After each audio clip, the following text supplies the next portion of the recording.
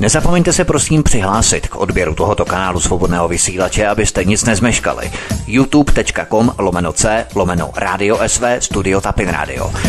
Dejte si prosím odebírat tento kanál kliknutím na červenou ikonku v horní pravé části obrazovky s nápisem odebírat a zaškrtněte také symbol zvonečku, abyste byli informovaní o nahrání každého nového pořadu.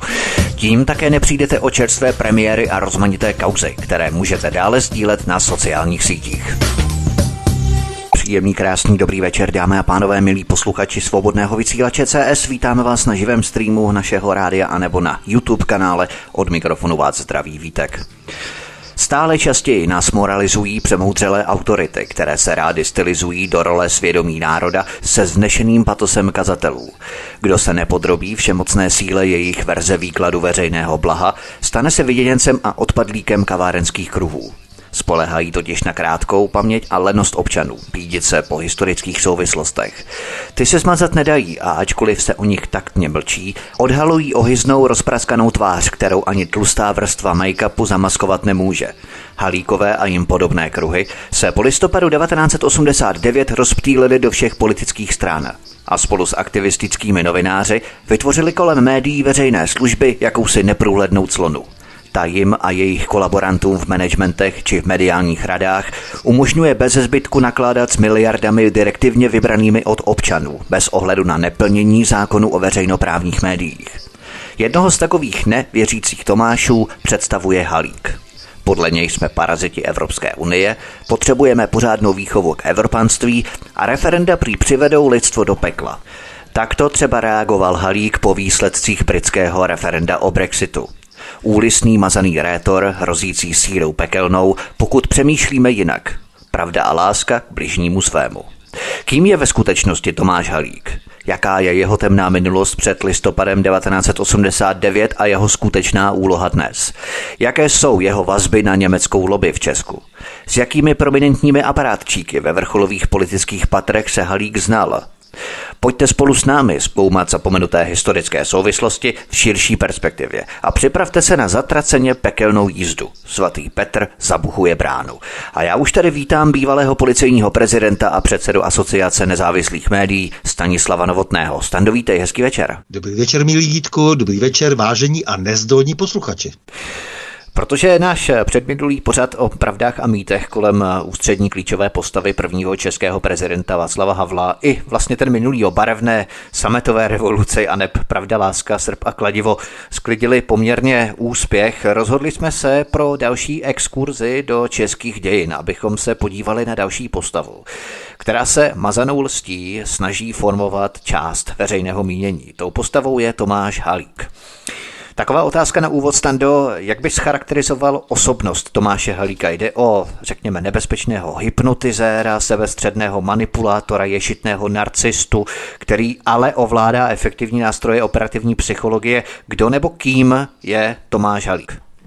Tomáš Halík je nešťastný člověk, který se snaží za každou cenu o kariéru eh, za všech režimů. To je jeho problém. Jeho problém je, že má jako obrovskou ambici a, a má pocit, že jak si je nevyužit, že jsou tady nějaké velké hřivny, kterými, kterými vládne a že ty hřivny nebyly ti ostatní schopni pochopit, nebo ti ostatní nepochopili, že by měly být prostě dobře využity. Je to jeho největší slabost. Eh, eh, touží po slávě, touží po trůnech, touží eh, po tom, aby mohl vlastně sdělit světu, že on vlastně jaksi je v tom jádru těch, kteří rozhodují o tomto světě. Je to jeho velký problém.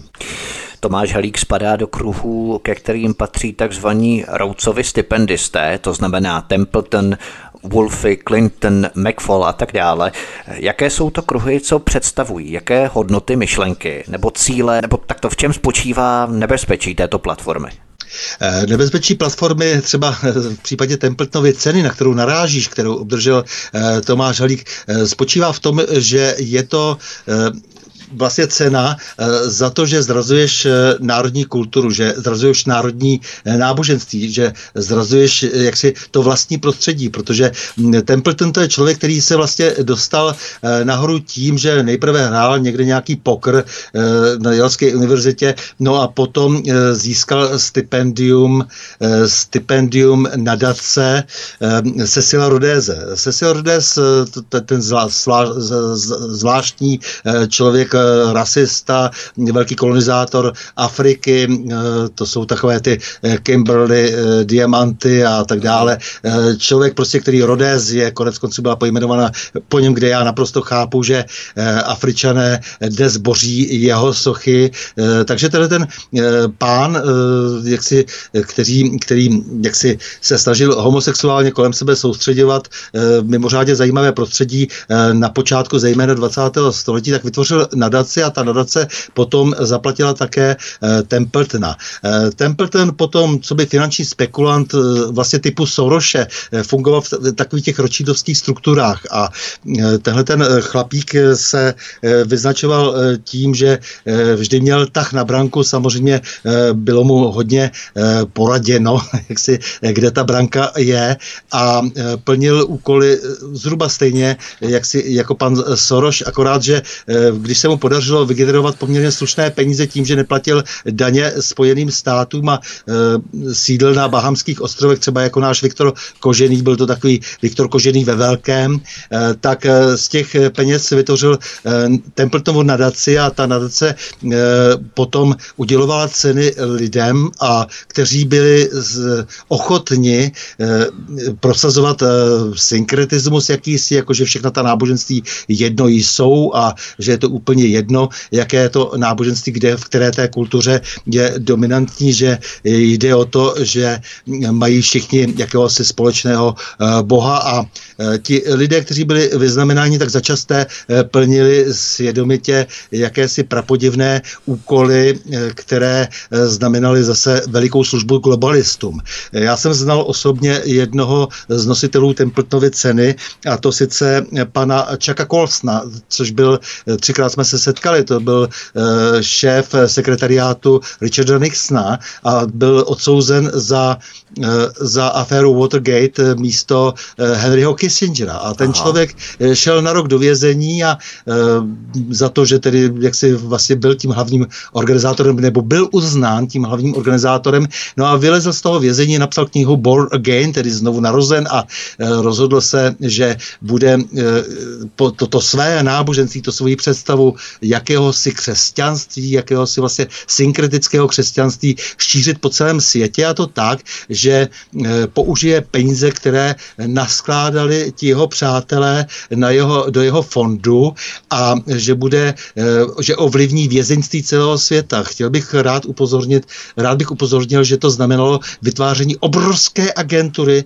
v vězeních ve 140 zemích světa, když jsem se tedy účastnil jakéhosi convocation ve Washingtonu a kdy chtěli po nás, já jsem byl tedy tehdy bývalý představitel policie České republiky a pak tam byli zástupci duchovní služby ve vězeňství Patr Tomáš Vlasák nebo českobratrský farář Bohdan Pivoňka, tak chtěli po nás, abychom se také začlenili, abychom také umožnili, aby International Prison Fellowship, tedy, tedy to znamená Mezinárodní organizace pro vězeňství, působila i v České republice. A my jsme to tehdy odmítli, já jsem ani nevěděl, co všechno činíme, tím, že Aha. jsme to odmítli, protože jsme říkali, že je lepší spolupracovat možná s British Chaplaincy, že se nám zdá, že je to daleko uměřenější organizace a e, vlastně jsme si asi šlapali všichni po štěstí a rádi jsme si šlapali po štěstí, protože se nám ten pán vůbec nelíbil. On totiž vylez z toho kriminálu a hned dostal tedy nějakých pár miliard dolarů hmm, pro to, zajímavé, aby, no. aby v tom světě vytvořil nějakou novou agenturu. E, chci jenom na, té, na tom případě i třeba toho eh, Templetonova eh, fondu a té Templetovy nadace eh, vysvětlit, jak vlastně ten globalismus funguje.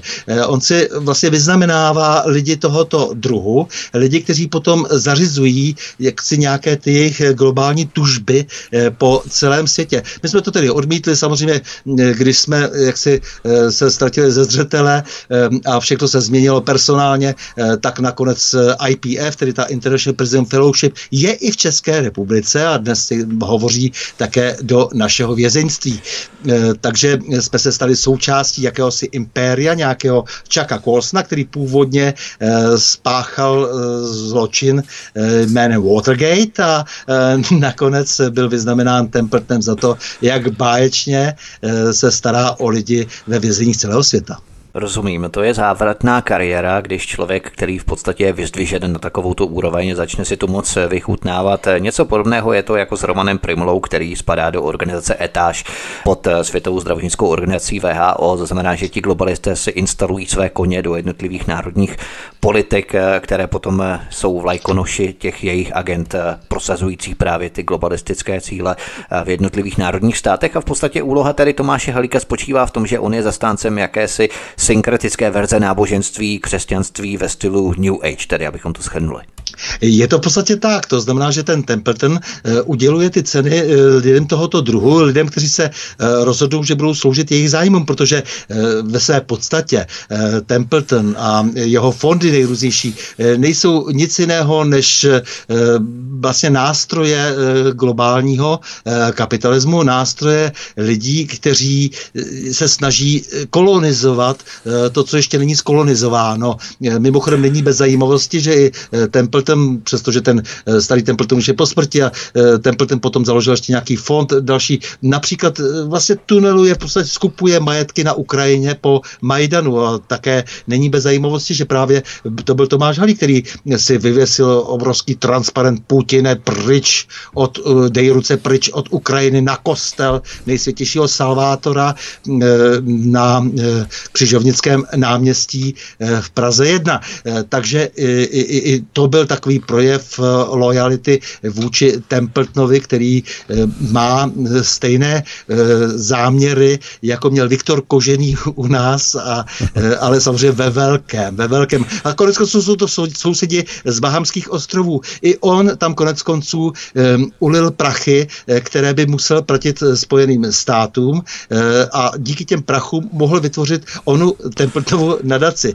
Díky tedy vlastně organizovanému zločinu vytvořil tuto nadaci a ta nadace platí celou řadu e, lidí, kteří působí tak, jak působí, to znamená ve svých kulturách, ve svých národech vytvářejí takový ten pocit toho, že je něco vyššího, důležitějšího, než jsou, ty, než jsou ty národní státy. Takže to je zhruba asi tak ta takzvaná, jak neustále opakuje Tomáš Halík, takzvaná Nobelova cena za náboženství, jako což je hodně směšné. Těch nadací je tady samozřejmě plno, aby jsme se nedočkali času, kdy vznikne jakási kožená nadace. Už tady máme Sekira, Foundation Sekirovu nadaci, o té samozřejmě budeme také v našem pořadu mluvit. Abychom se tedy vypořádali s tím úvodem a přistoupili potom k těm dílčím souvislostem ohledně Tomáše Halíka, k jeho historii. Ale ještě se tě zeptám poslední stručnou otázku na úvod. Minulý rok, na konci minulého roku 2020, vznikla Rada pro inkluzivní kapitalismus, zaštítěná právě papežem Františkem a pod morálním vedením vedením tedy papeže Františka a pod patronací Vatikánu. Myslíš, že Tomáš Halík se bude nějakým způsobem stotožňovat s touto radou pro inkluzivní kapitalismus, protože to je přesně ten typ globalizované společnosti, nadace, která by asi splňovala ty parametry, pod které by se tito lidé rádi zapsali? Nepochybně, protože on je naprosto pupeční šírou navázán na aktivity lidí, kteří se točí kolem eh, současného papeže. Eh, papež eh, samozřejmě představuje zájmy globalistů. Nedá se už o něm hovořit eh, jako o relevantní hlavě eh, katolické církev v pravém slova smyslu, kdybychom tedy se pustili do takového toho fundamentálního výkladu, kdo je to papež. A on opravdu, jak, jak si se snaží teď seč může sloužit zájmu globalistů, proto, protože vlastně pro ně znamená ta církev velmi zajímavou strukturu.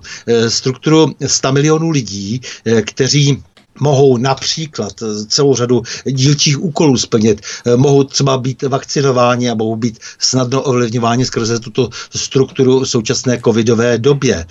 Mohou to být právě ti, kteří budou hlásat tu úžasnou vymoženost toho nepodmíněného příjmu. Mohou to být právě oni, prostě, kteří budou velmi propagandisticky dobře působit, když se jim vysvětlí, jak je skvělé to, že vlastně úzká skupina lidí rozhoduje o jejich osudu, protože ona přece zařídí spravedlnost na zemi. Samozřejmě nic takového se nestane, ale nicméně, protože lidé, kteří ovlivňují tu agenturní síť, kterou je, které je součástí i Tomáš Halík, tak ti budou samozřejmě do této sítě, sítě velet a oni nemohou než neposlechnout, protože celé, všechny ty jejich služební cesty něco stále, všechny ty jejich přednášky, které nikdo neposlouchal pořádně, hmm. tak samozřejmě zaplatili jejich živobytí. Přitom se podepisovala celá řada dokumentů. Zároveň samozřejmě mají ti lidé nějaké své minulosti s nějakými svými háčky, s nějakými svými problémy. A to je to, co vlastně vytváří to novodobé souručenství, které vlastně ústí třeba speciálně tedy dnes katolické církvy do onoho stáleho výboru, nebo co to je, jakási komise, kterou vytváří ten papež pro inkluzivní kapitalismus. V úvodu jsme se tak trochu zamysleli nad tím, kdo nebo kým je ve skutečnosti mazaný odborník na manipulaci Tomáš Halík. Ale začněme otcem Tomáše Halíka ve stručnosti, který demonstrativně vystoupil z katolické církve v roce 1918, ale zaměstnání Halíkova otce po roce 1945 nám lecos napoví, kde pracoval Halíkův otec nebo co dělal po roce 1945. No, pracoval na ministerstvu informací a to ministerstvo informací bylo velmi dobře srovnatelné s ministerstvem eh, vlastně bezpečnosti. Eh, to eh, ministerstvo informací zcela zrušilo a zařízlo eh, svobodu, eh, svobodu tisku eh, v tehdejším Československu. Eh, ministerstvo informací bylo vlastně vrcholně cenzorskou institucí, eh, institucí, která vlastně definitivně zrušila svobodu eh, mediální eh, v Československu Slovensku a bylo zrušeno v roce 54, když už nebylo potřebné a také tehdy na něm eh, skončil i eh, otec Tomáše Halíka, Miroslav Halík a pak dostal za odměnu za tuto práci eh, možnost editovat Karla Čapka, dílo Karla Čapka. Karel Čapek byl, jak známo, v 50. letech persona non grata, ale on dostal tuto odměnu, že se směl právě tím člověkem zaobírat, protože byl jaksi vyvolen. Takže Halíkův otec Miroslav eh, Halík pracoval mezi lety 45 až 53 na ministerstvu informací, jak si řekl, v podstatě ministerstvu cenzury.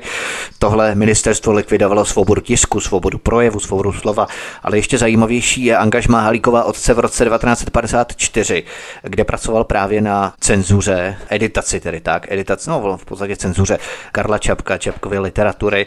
Takže to je stručná historie a pozadí otce Tomáše Halíka Miroslava Halíka. Nicméně přesuňme se k samotnému Tomáši Halíkovi a to konkrétně do roku 1972. V tomto roce totiž Halík obhajuje na Karlově univerzitě jeho rigorózní práci Křesťanství jako utopie k dialektice dějin křesťanského sociálního myšlení. Za tuto práci měl být tehdy údajně Tomáš Halík oceněný ústavem ateismu. Na základě této rigorózní práce mu byl udělen Karlovou univerzitou v roce 1972 akademický titul před jménem PHDR, to znamená malý doktorát. Už jenom název této práce stačí k tomu, abychom si uvědomili, že ta víra nebyla u Tomáše Halíka vždy tak neoblomná. Uchovaly se vůbec některé z fragmentů této práce, nebo i celá ta práce třeba? Eh, ta práce se dochovala celá, vím, že je dnes ofocená a eh, nechtělo jí dlouho, vlastně ani, nechtěl, ani nechtěla knihovna vydat. Eh, Karlova univerzita, nicméně vím, že někdo se postaral o to, že byla ofocena, takže je to rozsáhlá vlastně práce, jakási kompilace, dá se říct Karla Mannheima, takového toho skutečného vědce, sociologa, vědění, ateisty. Je to vlastně kompilace různých jeho citátů, eh, nepokrytě ta eh, práce proklamuje ateismus a eh, sám Tomáš Halík uvádí, že je to vlastně příspěvek k marxistické religionistice. Je to pozoruhodné proto, jak, tak samozřejmě každý má nějaký svůj vývoj, vývoj, ale v tomto případě je to pozoruhodné proto, že právě v roce 67, tedy pět let před tím rokem 72, tedy před tím červnem roku 72, kdy se toto událo, tak on přijímá běžmování, jako, nebo respektive křest a běžmování od biskupa Tomáška, uh-huh. pozdějšího kardinála Tomáška na Vyšehradě a po pěti letech náhle jak si e, píše tuto e, ateistickou práci, která mu otevře e, dveře do normalizačních funkcí Československa, protože on předtím, jak si koketoval vlastně s katolickou církví a najednou, najednou to své přesvědčení zcela schodí, což je zajímavé. Kdyby byl celou dobu tím ateistou a postupně se nějakým způsobem vyvíjel k tomu, že by tedy, jak si hmm. nakonec se nechal vysvětlit na kněze, tak by to bylo poměrně pochopitelné, každý z nás, jak říkám, se nějak vyvíjí, ale eh, to, že vlastně v tom roce 67 přijal křest a dokonce se nechal běžmovat, eh, tak to znamená, že vlastně celou tu věc schodil a zradil v roce 72 a rozhodl se pro kariéru, rozhodl se pro kariéru díky této práci, protože tam mu umožnila potom nástup do chemoprojektu. Eh, tato práce, která byla oceněna opravdu tím ústavem ateismu v Brně a e, tahle ta Mannheimovská vlastně kompilace, se dá říct, e, trošku nesourodá, ale to už je jiná věc, o to nejde, e, tak e, ta vlastně vytvořila prostě e, ten, ten základní předpoklad pro to, aby mohl dělat kariéru e, v institucích, ze kterých bylo celá řada lidí po roce 68 vymístěna a e, kde bylo tedy nedostatek mladých a nadějných kádrů. Za tuto práci ho asi biskup Tomášek nepochválil, potom, eh, když se to asi dozvěděl, si myslím. Nicméně asi na to zřejmě potom zapomněl v 90. letech. K tomu se potom ještě dostaneme v tom vývojovém stádiu, kde budeme postupně probírat ty jednotlivé střípky souvislostí minulosti Tomáše Halíka. Zajímal by mě ale další střípek minulosti, totiž podle některých informací měl Tomáš Halík absolvovat kurzy operativní psychologie v postupy u východního Berlína na Vysoké škole Ministerstva pro státní bezpečnost v Německé demokratické republice MDR. Tyto kurzy operativní psychologie zastřešovala východoněmecká tajná služba Štázy. Je tohle jedním ze střípků té německé stopy, která protkává Halíkovu minulost i současnost. Co víme blíže k tomuto kurzu? I to málo, co se zachovalo ve svazku Tomáše Halíka, eh, kde, který byl veden pod krycím jménem eh, kazatel, nebo předtím angličan a potom kazatel, eh, tak, v, tak, tak víme, že byl vyslán Institutem pro výchovu vedoucích kádrů Ministerstva průmyslu České socialistické republiky do východního Německa právě na, na to školení prostě pro, pro psychologickou průpravu přípravu eh, eh, těch školenců, které potom on tady školil eh, v Československu. Takže ta ta e, činnost jako v tomto smyslu prostě je e, vlastně potvrzená se vším všady nejenom e, těmi, kteří to, v tom kádrovém spisu o něm hovoří a kteří ho vysílají, ale jim samotným, protože on jim vlastně předložil svůj vlastní životopis a vlastně potvrzuje to, že to je ta jeho cesta. Byl tohle jediný kurz ve východním Německu, který Halík absolvoval, nebo se proslýchá i o dalším méně známém? Eh, samozřejmě byl to i třeba kurz eh, v Polsku, státní bezpečnosti polské, eh, takže tam ta kooperace mezi těmi státními, státně bezpečnostními strukturami byla velmi silná, protože on pracoval na katedře 3, katedře psychologie Institutu pro výchovu vedoucích pracovníků Ministerstva průmyslu České socialistické republiky. To byla eh, katedra, kterou zřídila eh, státní bezpečnost, celý ten institut vlastně, to bylo režimové pracoviště státní bezpečnosti, tak jako do toho, eh, do toho roku 74 bylo to režimové pracoviště státní bezpečnosti i v tom chemoprojektu, který mu umožňoval prostě pořádat různá školení v PZK typu Chemapol a podobně. Takže to byla všechno režimová pracoviště státní bezpečnosti. No tak samozřejmě státní bezpečnosti je státní bezpečnosti jej vysílala na školení eh, k, k jiným eh, jaksi útvarům státní bezpečnosti v zahraničí, protože požíval velké důvěry, také díky tomu se naučil eh, jakési užitkové Němčině, byl ještě pozbuzován v tom, aby jak, jak si v tom pokračoval, aby, aby mohl dobře komunikovat s východněmeckými soudruhy, tak to samozřejmě patřilo prostě k té výbavě člověka, který seděl na kádrovém oddělení a měl na starosti lidi, kteří potom řídili český, nebo český, če, průmysl České socialistické republiky, protože, jak známo, my jsme měli v té federalizované republice Československé dvě ministerstva, České socialistické a Slovenské socialistické republiky. On měl tedy na starosti, tedy, byl tedy součástí toho kádrového oddělení vlastně pro český průmysl, průmysl České socialistické republiky.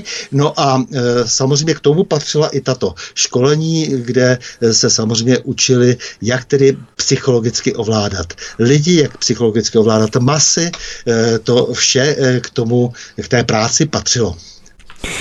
Díky těmto kurzům tedy operativní psychologie ve východním Německu měl Tomáš Halík získat eh, atestaci z psychologie v bývalém Československu. Tvořily tyto německé kurzy základ Halíkových znalostí psychologie, které začal potom vydatně zúročovat eh, v jeho budoucích profesí, eh, protože my se bavíme o období let 72 až 75 a dále, kdy Tomáš Halík po ukončení studia v roce 72 nastupuje do firmy Chemoprojekt a od roku 1975 začíná přednášet v Chemapolu. To byla proslulá PZK, projekt zahraničního obchodu. Pamatujeme si na prodej části Lucerny Václavu Havlovi, komunistickým agentem Václavem Junkem právě z Chemapolu. Vím, že je to nepodložená spekulace, nebo takový, řekněme, oslý můstek, eh, řekněme, ale je ta obsažnost se tady prolíná určitým způsobem. Myslíš, že Chemapol tvořil ten základ, kdy Václav Havel obchoduje s majitelem Chemapolu, agentem Václavem Junkem a ve stejném Chemapolu byl zaměstnaný i Tomáš Halík, který tu přednášel, že Chemapol tvořil jeden z takových těch svorníků těchto dvou osob a nejenom jich samozřejmě. Úplně si to nemyslím, protože on v Chemapolu jenom přednášel, protože byl eh, zaměstnán v chemoprojektu a potom byl zaměstnán, což bylo daleko výš, eh, na Institutu pro výchovu vedoucích eh, pracovníků ministerstva průmyslu, to bylo výše, než kdyby byl jenom v té PZC. On byl vlastně takovým tím, dá se říct, kdybych, když dnes všichni útočí na Andreje Babiše, že spolupracoval se státní bezpečností, když pracoval hm, v tom zahraničně obchodním resortu, tak on byl vlastně nadřazený těm lidem, jako je třeba Andrej Babiš a tak dále. to, je, to, to, to je jenom jako kdybych teda já zase měl vytvořit nějaký oslý můstek a nadřazený vlastně všem těm kapitánům českého průmyslu, kteří potom eh, rozkradli, zprivatizovali eh, český průmysl. Eh, to bylo mimořádně významné místo a jak si jeho, jeho obhajoba typu, že to bylo jenom formální zařazení a že vlastně tam podnikal jakousi diverzní činnost, tak to je všechno velmi směšné.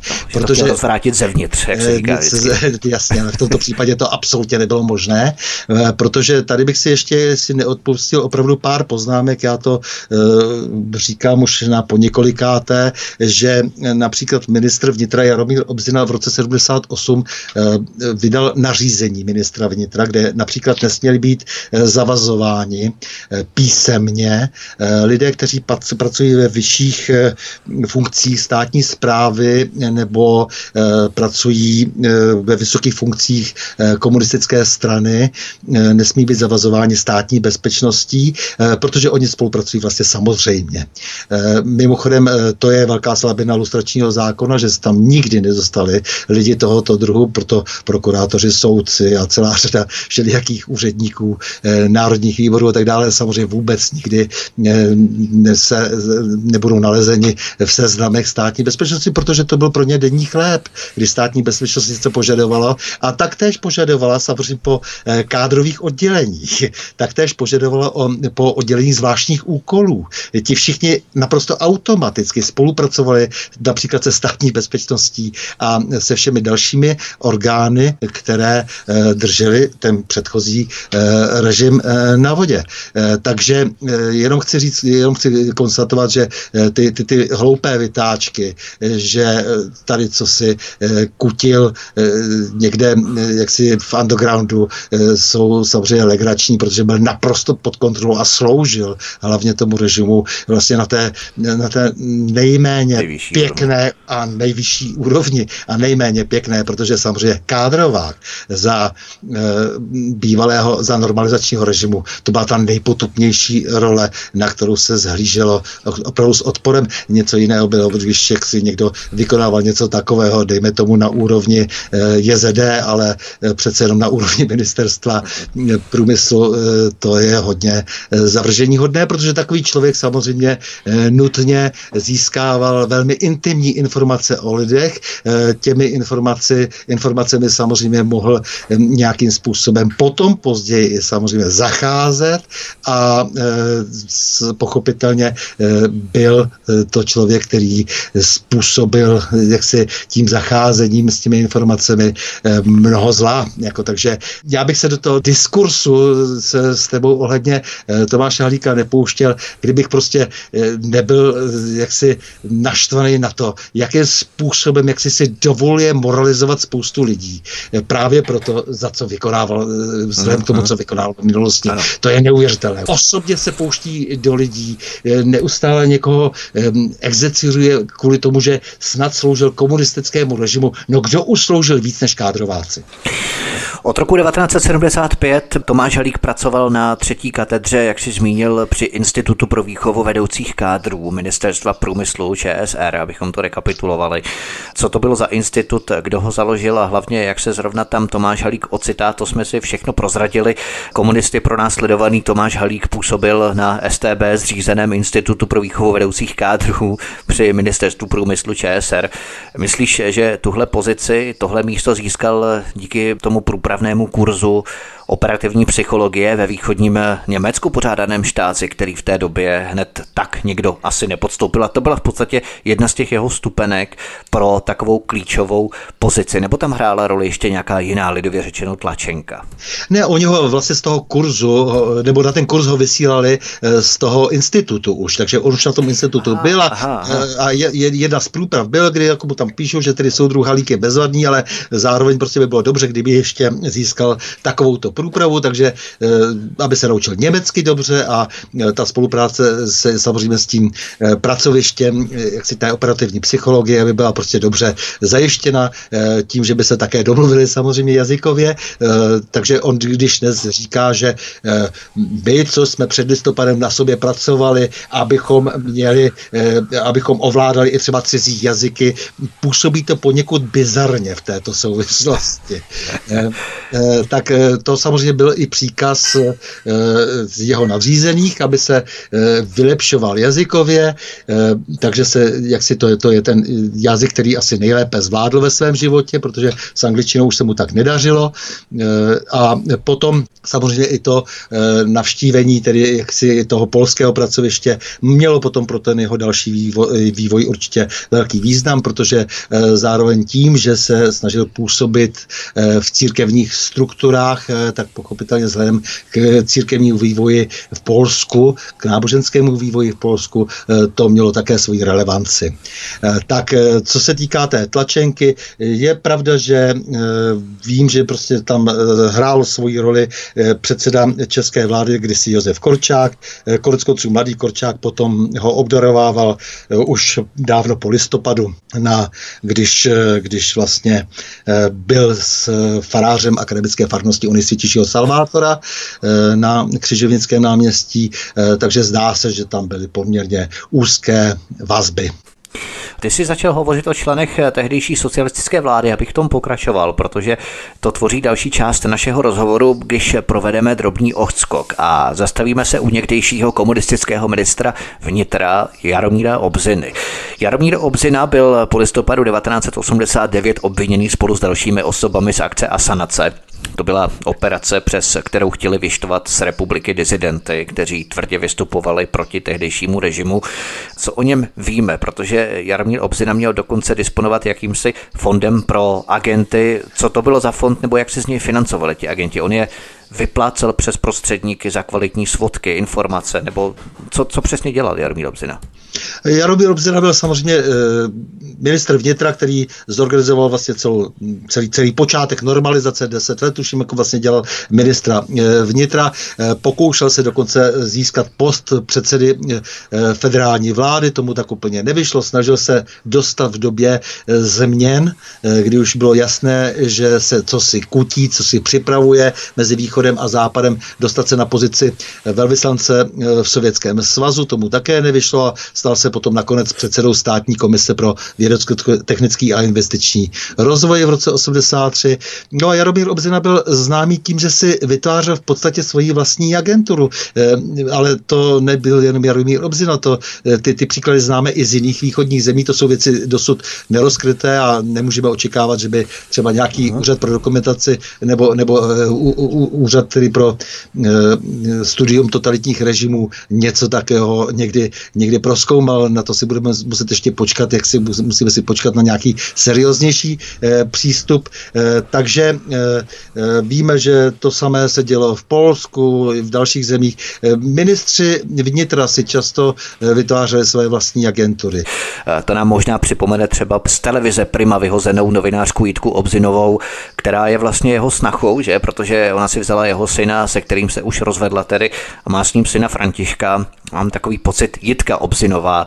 Co ona dělala před listopadem 89? Mám pocit, že ona byla kdesi v Etiopii, nebo se pletu? No, pracovala pro československou televizi a v Etiopii, z Etiopie dělala tehdy nějaké reportáže. To si pamatuju také, že ještě z konce 80.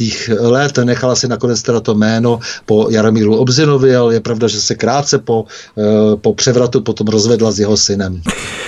Proč jsme zabrousili právě k osobě Jaromíra Obziny? To hned teď vysvětlíme. Sekretářka Jaromíra Obziny se jmenovala Scarlett Rašlová Vasiluková. Kromě toho, že byla Scarlett Rašlová Vasiluková asistentkou komunistického ministra vnitra Jaromíra Obziny, jaký je její vztah k Tomáši Halíkovi? S Tomášem Halíkem ona spolupracovala celou eh, řadu let v 80. letech a vlastně až do současnosti je to jeho sekretářka jaksi nejpersonálnější, nej, nejúžeji s ním spojena. To je osoba, která je vlastně i v té jeho nadaci, když dostal tu Templetovu eh, cenu, kde tam je s nějakým střelmistrem, s vašimi v, eh, vlastně v instituci, která má rozdělovat peníze, které Eh, dostal za to, že eh, má skvělou minulost a e, tu Templetovu cenu mu vlastně e, vyhádal e, Petr Pidhart a, a Schwarzenberg a další. V okamžiku, kdy se zjistil, že ta minulost právě není tak dobrá a tak bylo potřeba jak si nějakým způsobem zasáhnout a ta Scarlett Vasiloková celou dobu vlastně s ním všechny tyhle ty věci řešila, všechny ty minulostní věci, všechny ty současné věci.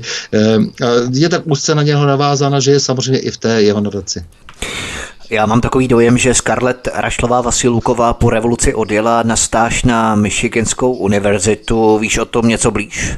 No, odjela tam na stáž na Michiganskou univerzitu a vlastně to je ta doba, kdy se vlastně eh, věci hodně měnily a kdy ona byla takovou spojnicí eh, mezi například jaksi eh, nadací pro rozvoj demokracie, Endowment for Democracy, kdy vlastně ta nadace vlastně nějakým způsobem podporovala i Tomáše Halíka.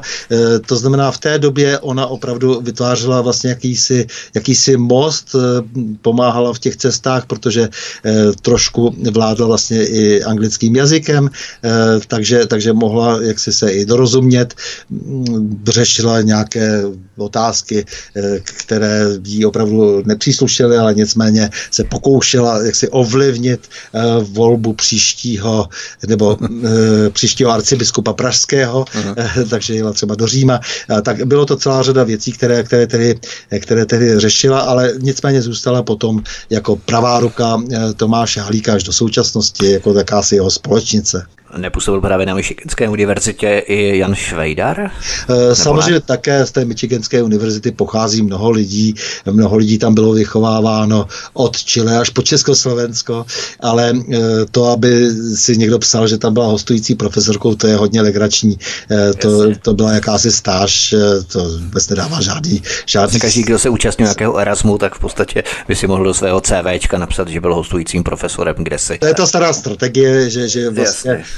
Když do toho moc nevidíš a je to hodně daleko a někdo ti to zaplatí a, a někdo potřebuje, aby si v té své domovině potom se nějak vypadal, no tak ti udělá image, jako že si přijal nějaké, dostal nějaké důležité ceny, jako v případě Templetovy ceny pro Tomáše Halíka. Je to tak, že vlastně stejně o tom rozhodují ti lidé, kteří, kteří mu tu cenu vyhádali, aby prostě byla správně, byly potom správně ty peníze distribuovány, no tak je to taková polní tráva a, a, jako, a pak si ten člověk sám o sobě neustále píše, že je nositelem čehosi a, a tak dále. Je, je to ale celá řada lidí u nás, není to jenom Tomáš Halík, kteří e, jsou tímto způsobem odměňováni a e, potom e, jak si, e, si, si leští svoje e, CV, ačkoliv e, když tady potom mají jak si e, předvést, co si, e, tak neuspějí v nějaké banální diskuzi.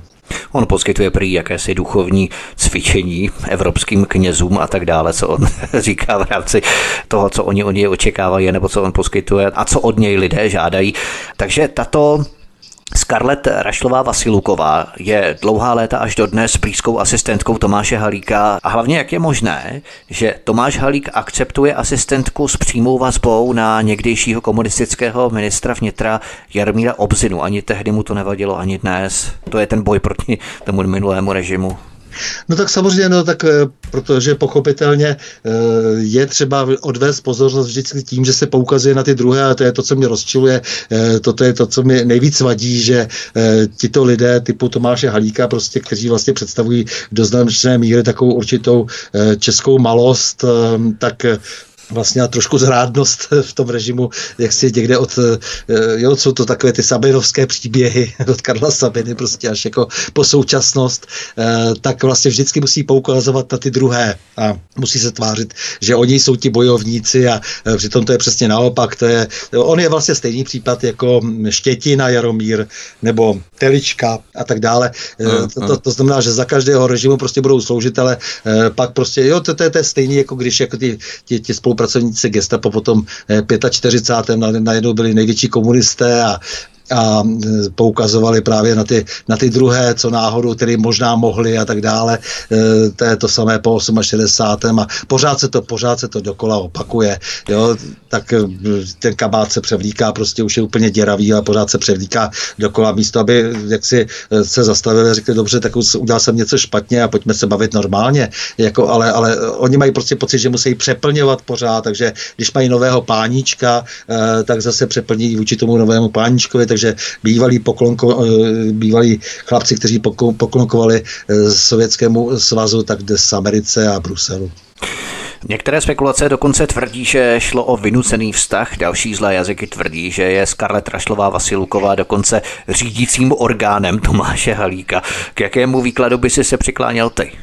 Eh, nevím, tak do určité míry ono se pohybovalo opravdu v nějakých vyšších patrech. Eh, Tomáš Holík vlastně vystřídal, eh, jak říkám, zhruba ty tři ta režimová pracoviště státní bezpečnosti, to znamená, nejprve to byl ten chemoprojekt, potom to byl tedy ten přímo institut pro výchovu vedoucích kádrů a potom se přesouvá na protialkoholní léčebnu, kde opět, jak si samozřejmě byla ta práce pod dozorem státní bezpečnosti, protože samozřejmě tam byla celá řada citlivých údajů o konkrétních osobách.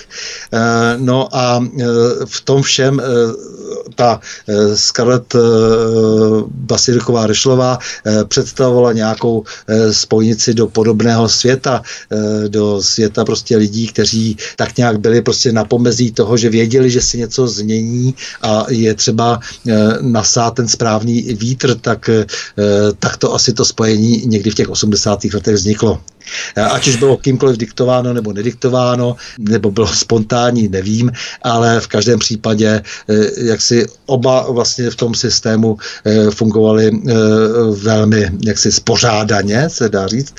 To znamená, že ten komunistický režim oni jak si drželi oproti těm, kteří vlastně se potom dostávali do problémů a samozřejmě velmi spořádaně také přišli na tu druhou stranu strarubare i.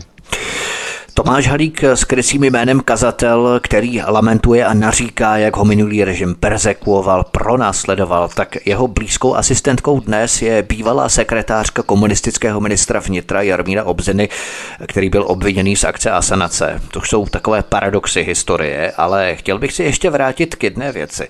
Předsedou tehdejší komunistické vlády byl Josef Korčák, kterého si zmínil od roku 70 do roku 87, tuším, ale máme tu jeho syna syna tehdejšího vládního předsedy Josefa Korčáka juniora.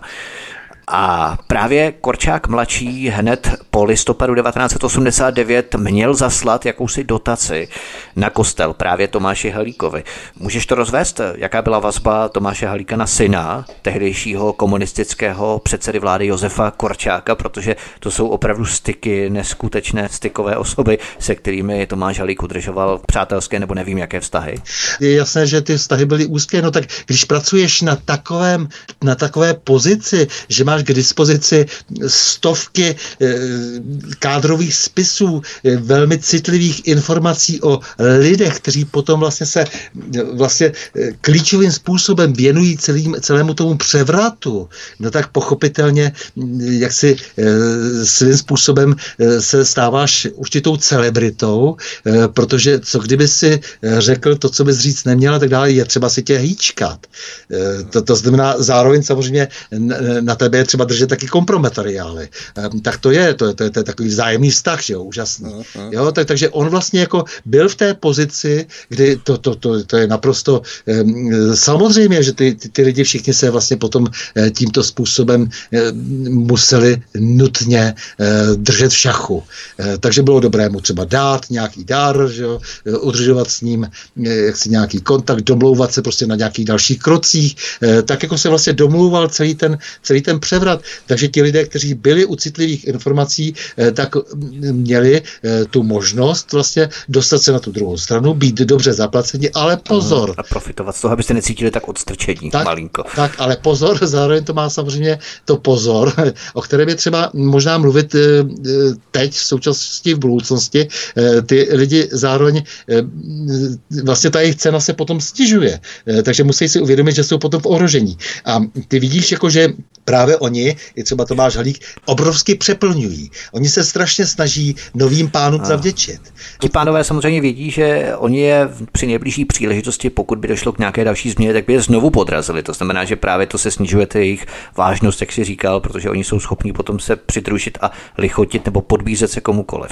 Eh, vidíš to třeba i z toho, eh, když eh, vlastně Halík třeba dostane tu Templetovu cenu, že jo? A můj přítel, velmi dobrý latiník, tehdy přemýšlel, když on řekl, teď už na mě nedoplivnou, to znamená, že vlastně dostal tu cenu za to, eh, že eh, se mu jako, jaksi, jakoby vyčistí minulost, že se řekne, že byl vlastně velmi statečný v té minulosti, že, že v té minulosti prostě eh, dělal něco nesmírně disentně záslužného, což jako je opravdu velmi legrační a dá se o tom hodně dlouho mluvit, ale on mu dal titul insputabilissimus, to znamená jeho nedoplivnutelnost si mu prostě jako vešel jako opravdu jako, jak si, do, dá se říct, literární historie, protože on jako se opravdu nezdržel.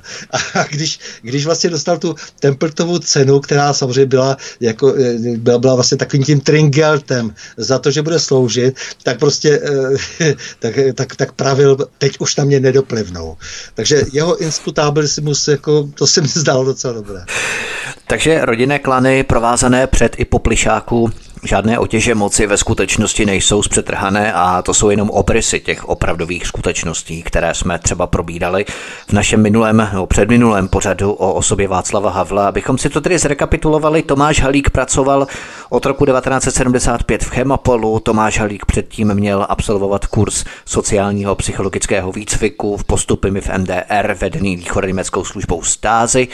Od roku 75 Tomáš Halík pracoval na třetí katedře při Institutu pro výchovu vedoucích kádrů Ministerstva průmyslu ČSR a měl vazby na rodinu tehdejšího komunistického vládního předsedy Josefa Korčáka, respektive jeho syna, který mu po listopadu 89 jako jednomu z prvních posílá dotaci na kostel. A to ani nehovoříme o sekretářce tehdejšího ministra vnitra Jaromíra Obziny Skarlet Rašlové Vasilukové, která se stala blízkou asistentkou Tomáše Halíka. Když to všechno rekapitulujeme, získáváme tím v podstatě obrysy nejen takového toho typického normalizačního kariéristy, ale prvotřídního agenta, školeného průpravou tehdejších rozvědek. Myslíš, že Tomáš Halík proškoloval na tom Institutu pro výchovu budoucích kádrů řadu teď s nadsázkou tunelářů budoucích po listopadu 89, že tušil, na jakou úlohu byli tito lidé připravovaní, anebo až tak daleko Tomáši Halíkovi ty plány odhalené nebyly?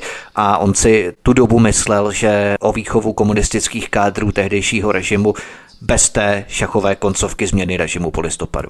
Já ho moc toho nepodezírám, protože z té, z té hluboce analytické úvahy, eh, protože jak ho znám, tak on moc dobrý analytik není.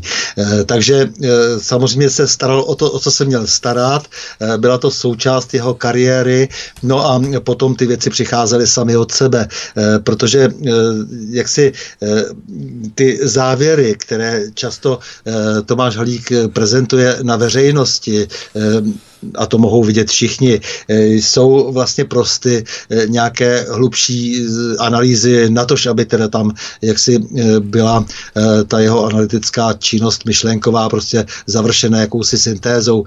To znamená, že ve se mílí v mnoha věcech. On vlastně plní dobře úkoly. On je člověk, který umí dobře plnit úkoly, byť samozřejmě má o sobě vysoké mínění a myslí si, že je ten vůdce, který se, si zapisuje ty zapichuje ty praporky eh, do té mapy toho světa prostě a, a naběračkou ukazuje prostě, kudy by měli táhnout ty pluky, jemu to nesmírně imponuje, eh, takové ty eh, vůdcovské, imperátorské prostě jaksi příběhy a často se do nich stylizuje, ale, ale ten problém, jak, jak si je jednoduše v tom, že tomu není opravdu úplně dáno. On jako tak umí mluvit do nekonečna o všem možném, o všech možných banalitách, o všech možných věcech, které vlastně jsou velmi obecně přijatelné. Eh, do toho zamotá prostě pak jako takové ty věci, kde ví, že musí plnit, protože zrovna na eh, americké ambasádě se bavili o tom, o tom a, je třeba prostě teď správně eh, nastavit to další směřování a tak je třeba ty věci do, do nekonečna opakovat, ale jsou lidé, kteří jsou samozřejmě v tomto daleko bystřejší a lepší a kteří vědí, že některé věci se říkají jinak, stravitelněji a mm, dejme tomu na základě vlastního úsudku eh, pochopí, že ty konotace, eh, dejme tomu politicko-společenské, jsou jiné, eh, což jemu opravdu není dáno. To neříkám s nějakou, s, s nějakou vlastně hlubokou kritikou, prostě to je danost. S tím se nedá nic dělat, no ale on se tím trochu trápí, že on se tím trochu trápí, proto pořád opakuje, jak je důležité kritické myšlení, myšlení, jak je vůbec důležité myšlení. No jo, no tak jako hmm. s tím nic nenaděláme. To tvrdí i mainstream, jak je kritické myšlení důležité, ale když opravdu začne někdo kriticky myšlet, tak hned je dezinformátorem a ruským agentem, takže kriticky přemýšlet v rámci lamestreamu nebo mainstreamu se dnes opravdu nevyplácí, stejně tak jako v tomto případě. Nicméně na té třetí katedře při Institutu pro výchovu budoucích kádrů Ministerstva průmyslu ČSR Tomáš Halík pracoval do roku 1984 a potom přechází na pozici, poslední pozici před listopadem 89, psychoterapeuta na protialkoholním oddělení psychiatrické kliniky fakultní nemocnice Univerzity Karlovy, což si zmínil, kde přečká tedy až do revoluce. Co víme o tomto období? Protože tam se mu museli střídat zajímaví lidé, že? kteří měli problémy s pitím a nejenom, že vykecali v úvozovkách i to, co nechtěli, ale mohli tam figurovat i zajímaví lidé z, řekněme, undergroundu, tehdejší undergroundové scény, včetně třeba Václava Havla. Teď jenom samozřejmě spekuluju, ale já chci jenom naznačit, že to nebylo místo za trest, ale za odměnu, kde se získávali nebo těžili ti lidé pro zajímavé materiály, nebo se mílí. Říkáš to naprosto přesně. Eh, samozřejmě to bylo pracoviště, které sloužilo k tomu, aby se získaly informace na lidi kteří byli nějakým způsobem exponováni a dotčeni alkoholem, e, takže to, to bylo vlastně místo, kde se těžili e, kompromitující materiály. Mimochodem, eh, docent Skala, sice agent státní bezpečnosti také, ale přece jenom známý odborník e, oproti jiným, e, tak on nepřijímal třeba nikoho jiného, kdo měl, než kdo měl vlastně, e, kdo absolvoval klinickou psychologii. A e, Tomáš Halík nemůže moc, jako vlastně, co se jeho vzdělání týče, moc věcí doložit. A třeba neumí doložit vůbec eh, vzdělání eh, v té klinické psychologii. Eh, to, protože psychologii samozřejmě rozhodně nestudoval dávno před tím institutem pro výchovu vedoucích pracovníků, ale pak najednou se vykázal pravděpodobně listem, který ovšem dnes neumí ukázat veřejnosti, protože by se ukázalo, že, byl, že to vzdělání získal právě na oné katedře Římská 3. To je velký problém, ale o Skálovi se ví, to zase, jak si víme od těch jeho spolupracovníků, eh, že on nepřijímal nikoho, kdo neměl eh, toto vzdělání. No a bylo by dobré od Tomáše Halíka, by to bylo docela seriózní, protože eh, kde kdo spochybňuje jaksi jeho vzdělání, tak by bylo dobré říct si, ano, já mám, já jsem opravdu na katedře 3 na Institutu pro výchovu vedoucích kádrů získal papír, který mě opravdu hovořit do klinické klinické psychologie. Eh, to, byly, to, to souvislo i s těmi školeními eh, v, ve východním Německu a v tehdy socialistickém Polsku. Takže to je vlastně zároveň slabina, protože je jasné, že on tam přichází s jakými si předpoklady. Není z bezzajímavosti a může si posluchač přečíst ve vzpomínkách Jitky Vodňanské, že Milenka Václava Hala, Jitka Vodňanská tam pracovala také. A že tam pracovali, eh, pracovala celá řada dalších lidí a eh, je, myslím, i zajímavé, jak, si, jak psycholog Douda hodnotí to, jak se kdysi sešli, kde si eh, v listopadových dnech nad Václavem Havlem mudrovali kde si někde v podzemní místnosti v metru právě Douda, Halík, Vodňanská a další, jak do, dostat, dostat Havla do figury, aby mohl sehrát tu roli, která se od něho očekává. Takže tam, tam je s tím je spojena spousta bizarností, spousta bizarností eh, třeba i v tom, když ještě v, v těch 90. letech vlastně dle svědectví Jitky Vodňanské Havel navrhuje, aby, si, eh, aby se Halík věnoval eh, Vodňanské a, a přičemž kdo si tam namítl, no ale to přece nemůže, když je ten katolický kněz, ne? Tak, jo, že, že vlastně to bylo celé takové docela bez zábran, eh, takže ti lidé vlastně vůbec neuvažovali těch kategorií, který uvažuje normální eh, člověk, protože vytvářel jakési souručenství, které jaksi malovalo ten svět jaksi dle instrukcí jiných. Tak to asi jako taková, taková malá poznámka, ale ale nicméně eh, samozřejmě to pokračování na tom, eh, u toho, u toho skály, teda na té eh, protialkoholní léčebně, znamenalo opět se dostat k těm intimnostem lidí, kteří potom byli často dosazováni do funkcí po převratu po roce 89. To znamená, že veškerá pracovní agenda Tomáše Halíka nebo pracovní portfolio zaměstnání, které vystřídal před listopadem 89, se definují v rámci režimových pracovišť. Ty definují jeho pracovní minulost před listopadem 89, jenom abychom v tom měli pořádek. Vstupujeme tedy do období po listopadu 1989. Po revoluční euforie je všudy přítomná, Tomáš Halík postupně proniká do církve. Myslíš, že tehdejším církevním hodnostářům nebyla podezřelá Halíkova normalizační minulost, přece jenom takových podezření bylo všude plno, tak si toho příliš nevšímali a nevěnovali tomu příliš pozornost. A to v podstatě Halíka uchránilo od nutnosti konfrontovat svou minulost a obhájit se v očích samotné církve po listopadu 89. Ale samozřejmě bylo, bylo to divné například eh, pozdějšímu kardinálu Vlkovi. Kardinál Vlk dokonce eh, se mě osobně kdysi dotázal, když věděl, že já jsem založil úřad pro dokonce vyšetřování zločinů STB, eh, jak je to s tím Halíkem a já tehdy jsem docela tak blahosklonně říkal, takových kariéristů tady bylo, jako nechme je být, ono to bude teď jako snad té nové době lepší trošku naivita ode mě, že? A, a, a, a, a, a, ale to, to jsem samozřejmě ne, neskoumal zhluboce, protože mě to moc nezajímalo. Bylo tehdy spousta jiných úkolů, eh, které bylo třeba řešit a eh, takže spousta lidí se podívovala a měli to podezření. Měli podezření, že spolupracoval, protože samozřejmě, eh, samozřejmě i lidé třeba z té protialkoholní léčebny se předtím bavili, báli mluvit. V tom jeho životě bylo více takových míst, kdy lidé měli strach říci, kam jdou na pivo, protože si nepřáli třeba jeho přítomnost a to se týká jiných jako a tak dále. No nic o, to, o tom nebudu nikomu hovořit, ale nicméně, nicméně ano, ta podezření tady. Pokud ti lidé šli na pivo, ty, které Halík léčil v té protialkoholní léčebně, taky moc asi nevyléčil. jo? Ne, takže, takže prostě e, je, je, to tak, že opravdu tady ta podezření, podezření vznikala, tehdy potom v roce 89 pak nad tím, kde kdo mávnul rukou, došlo k, nějaké, k nějakému zápasu o katolickou teologickou fakultu. On byl tehdy sekretářem České biskupské konference, odsud byl vymístěn. Eh, no a mm, samozřejmě eh, pak pokračoval po svém, získal tedy tu akademickou farnost eh, u nejsvětějšího Salvátora, no a tam je dodnes, přestože celá řada kněží už dávno, dávno se vystřídala na svých pozicích, jak je zvykem v katolické církvi, ale tady zůstává 30 let po listopadu 89 Tomáš Halík no. u nejsvětějšího Salvátora ty používáš docela takový zajímavý slang, nebo řekněme až newspeak, místo vyhozen, tak používáš vymístěn. To jsem neslyšel takové označení, někad vyhozen, tak ty používáš vymístěn.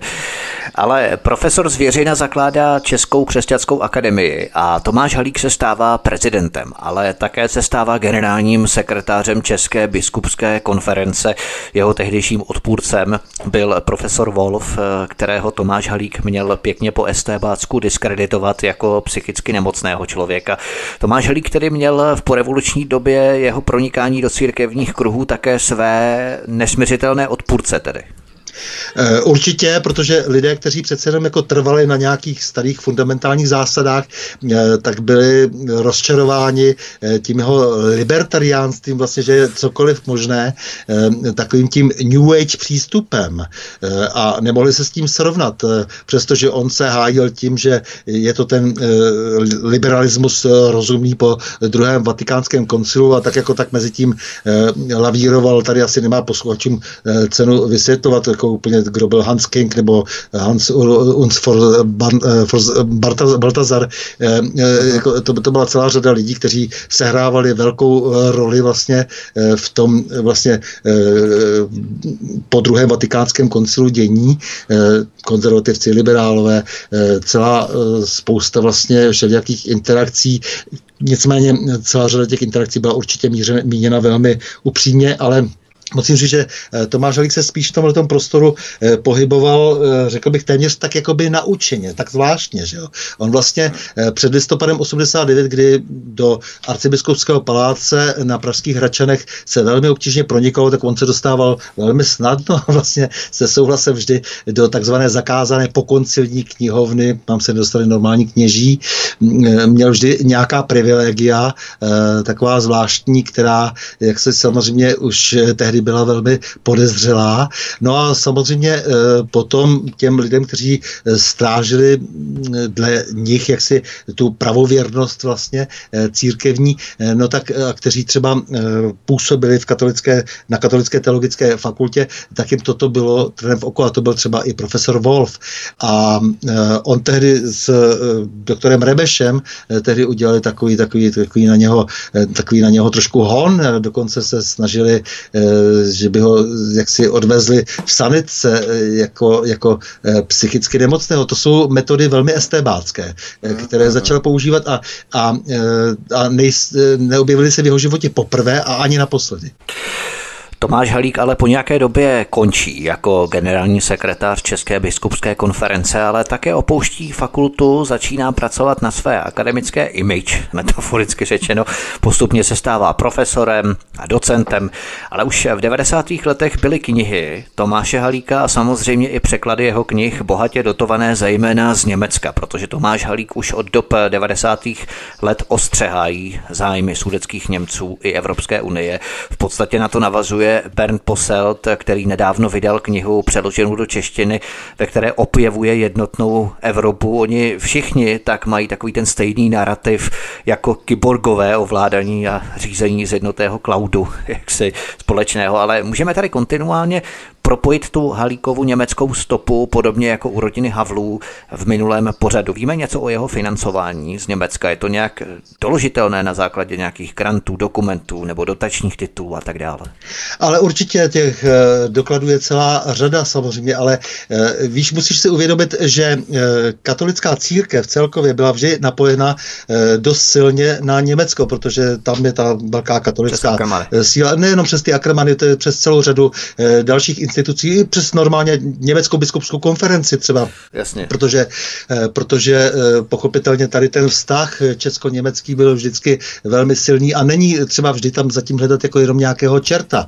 Ale nicméně eh, je pravda, že ta, ta, ta velká podpora, prostě, která byla soustředěna potom na toho Tomáše Halíka, tak byla často nějakým způsobem vydiskutována v nějakých úplně jiných kruzích, než jenom zdaleka v těch katolických to znamená, že, že ano, ta podpora tam vždycky byla, že to znamená, že u toho Herdra on vydal vlastně ty knihy, on vždycky vydával ty knihy eh, jaksi s eh, finanční podporou, to znamená, bylo úplně jedno, jestli budou úspěšné na trhu, vždy prostě přišla nějaká dotace, ať už to bylo, eh, ať už to bylo na roce Porticus, kde kam spíše mohli plynout peníze od Němců, kteří po 45. zůstali, zůstali v Jižní Americe a, a tak dále, tak dále. Těch věcí je, eh, těch zdrojů tohoto druhu je celá řada, ale eh, o to by tak ani nešlo, eh, kdyby ta vehemence nebyla prostě přílišná, protože určitě bychom si všichni přáli, abychom dobře žili se svými sousedy a určitě česko-německé vztahy je třeba nějakým způsobem kultivovat, to je prostě v pořádku, ale není dobré, když se prostě člověk přesune úplně na tu druhou stranu a vlastně je na straně už jenom potom třeba těch sudeckých Němců, nebo toho Německa eh, proti vlastnímu národu, proti vlastnímu státu. Eh, to si myslím, že tam je ten problém, že tam postupně, že se dostává eh, jaksi do toho vlastně podvědomí jaksi toho, toho, toho člověka prostě ta nutnost sloužit opět zase jaksi nějakému cizímu pánovi. Ano, ano, ano. V tom je ten problém. K té německé stopě se ještě vrátíme s konkrétními jmény, ale při sledování stopy Tomáše Halíka se zastavme v roce 2000. Tehdy na konci roku 2000 probíhal puč, respektive spacáková revoluce v české televizi. A když se podíváme, kdo z hlavních postav se na té spouře zaměstnanců podílel, máme tu novináře Moniku Pajerovou, Jiřího Stránského, Michala Kocába, byl tu také Břetislav Rychlík, známe levicovou aktivistku Apolenu Rychlíkovou třeba, ale také třeba Marek Eben, Jan Hřebejk, Jan Kraus nebo Michal Vývek a za spouřence se postavil tehdy i Václav Havel samozřejmě. To je jenom, abychom si připomněli ty pohnuté časy trošku, ale možná si vzpomeneme na Tomáše Halíka, který dokonce sloužil mši na Velíně v Kavčích horách. Myslíš, že si tím Tomáš Halík předloboval svou pozici až do dnes v české televizi, která mu nezapomene, jak se za tehdejší zbouřence postavil, zbouřence, kteří si v podstatě zprivatizovali médium veřejné služby? Nemyslím si, že to bylo tak zásadní, to je jeden jako z jeho nějakých činů, jak tehdy redaktoři České televize, jak si výsměšně pravili, no možná na té mši byla Veronika Sedláčková, to bylo tak asi všechno.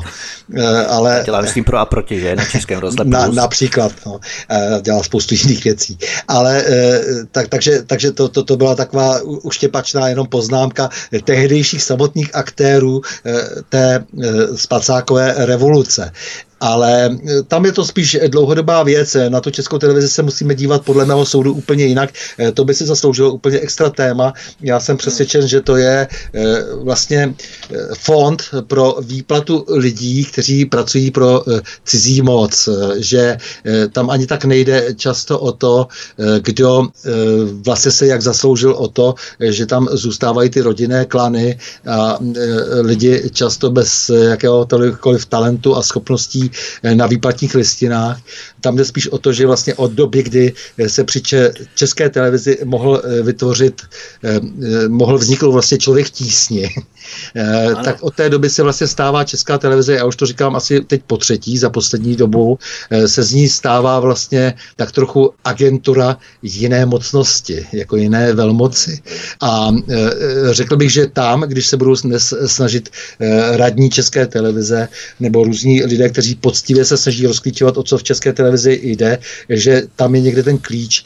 A e, protože Tomáš Halík jaksi slouží e, jaksi jiné e, velmoci Tomáš Halík samozřejmě sloužil někomu do listopadu 89 a někomu jinému po listopadu 89, protože pochopitelně všechno to, co stály ty jeho zahraniční cesty a nikdy vlastně nebylo nikdy osvětleno vlastně, kdo to všechno platil, tak to má nějaké své páníčky. Že? A, a česká televize je součástí tohoto procesu, takže řekl bych, že e, to je důležitější e, než nějaký legrační příběh, kdy rychle přiběhl, že by také nabídl své institucionální služby.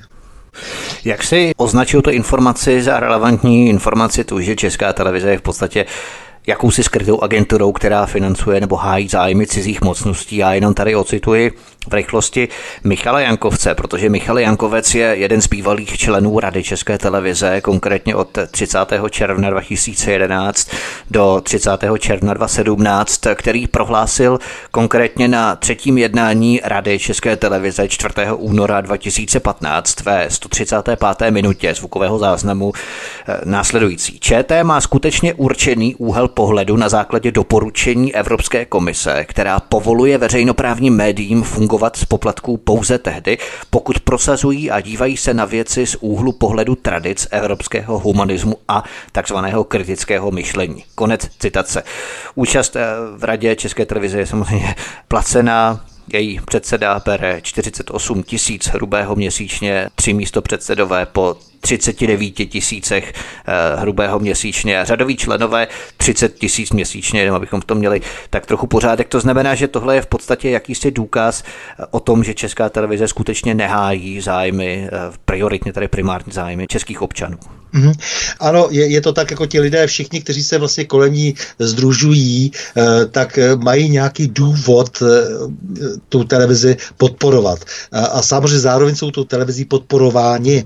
Eh, to je jasné. Eh, takže eh, to, že vlastně se celá řada lidí i z české televize schází potom eh, někde v americkém kulturním středisku a dohadují se o tom, co je třeba pro budoucno pro Deep State učinit, tak to samozřejmě vytváří vlastně jako tu jasnou legendu pro to, proč ta česká televize působí tak, jak působí a proč vlastně ti lidé, kteří se kolem ní tímto způsobem točili a zároveň se ví, že hájí ty správné zájmy, o které teď jde a které vlastně plní kapsy a, a vytváří dobré zázemí všem těm aktérům, takže do té české televize patří a proto v té české televize budou neustále vystupovat pořád dokola. Nicméně vraťme se ještě k té České křesťanské akademii, kterou jsme zmínili. Jímž je Tomáš Halík předsedou. Česká křesťanská akademie totiž sídlí na stejné adrese a to si právě hovoří o tom propojení v podstatě. Na stejné adrese jako Česká organizace Ackermann Gemeinde, což je křesťanské křídlo sudeckých Němců, respektive sudeto-německého Landsmannschaftu, i když to nejmírnější, řekněme, není to žádný Vitykobund a tak dále. Obě sídlí na adrese Vyšehradská 320 lomeno 49 Praha 2. Postupně se ale v Česku formují pro německé nadace, takzvané Stiftungy, ať se jedná o Friedrich Neumann Stiftung, Heinrich Bell Stiftung, Hans Seidel Stiftung anebo Konrad Adenauer Stiftung. A právě s posledním jmenovaným Konrad Adenauer Stiftung úzce spolupracuje i Halíkova Česká křesťanská akademie. Myslíš, že tato jeho vazba zastřešuje, posiluje Halíkovo napojení na německou lobby a německou agendu. Když si to vsadíme do kontextu Halíkova studia kurzu, jak jsme zmínili, sociálního psychologického výcviku, německou štázi v 70. letech, on se stylizuje do té roli, že opravdu hájí tu druhou stranu, Stoprocentně. Eh, ale ty přece víš, že já jsem tam jako dělal 18 let ředitele, že jo? To znamená, já jsem vlastně s ním byl jako velmi uh, úzce vlastně ve styku a vlastně 15 let jsme se, uh, jsme jenom koexistovali, že jsme se nemohli ani cítit, že jo? Ale, mm, ale nicméně mm, zároveň jsem... A diskutovali jste třeba to jeho napojení? Uh, ne, to, to, jeho napojení, to napojení i ty akademie a celá řada dalších věcí, jako tady byla napojena na uh, velmi úctyhodný různý spolky na německé nadace, ale nicméně prostě mě to tedy hrozně vadilo, že jo? Takže jsem se, potom jsem zajistil jakési finance financování skrze nějakou, eh, nějakou nemovitost, kterou vlastně jsem, odkud jsem se, eh, se jsem vymístil, jakousi mafii, která tam je církevní, teda to byla nemovitost, která tam eh, byla a tak dále, ale nicméně samozřejmě to, to napojení tam bylo, protože to tady můžu svědčit jako přímo, že, jo? že ta diskuze s těmi nadacemi, s těmi různými vlastně německými fondy byla velmi komplikovaná, zpočátku jednoduchá, jakože se podporuje demokracie a že to je v pořádku no, a tak dále, ale post postupně se vlastně zvyšovalo vlastně to napětí tím, že oni neustále vlastně si vynucovali co si, jako to znamená už jenom podpora Evropské unie. Já jsem tohle to nemohl nikdy přes nich před srdce, jakože pro mě to bylo mm-hmm. strašně komplikované a proto my jsme měli eh, spolu ten stálý konflikt. 15 let vlastně, eh, vlastně velmi, velmi tvrdý konflikt, kdy každý si jel po svém a já jsem se snažil, aby v akademii diskutovali lidé, eh, kteří jsou jaksi z nejrůznějších koutů a aby to byl ta opravdu pluralitní diskurs nějaký nějaký, eh, nicméně on samozřejmě uvažoval jaksi úplně jinak, protože byl právě napojen na nějaké další německé kruhy, eh, které jaksi si ho hýčkali, protože to byl eh, člověk, který byl ochoten udělat cokoliv právě, právě pro ty Němce. To tedy jaksi já se zase ochoten nebyl, protože mě dost vadilo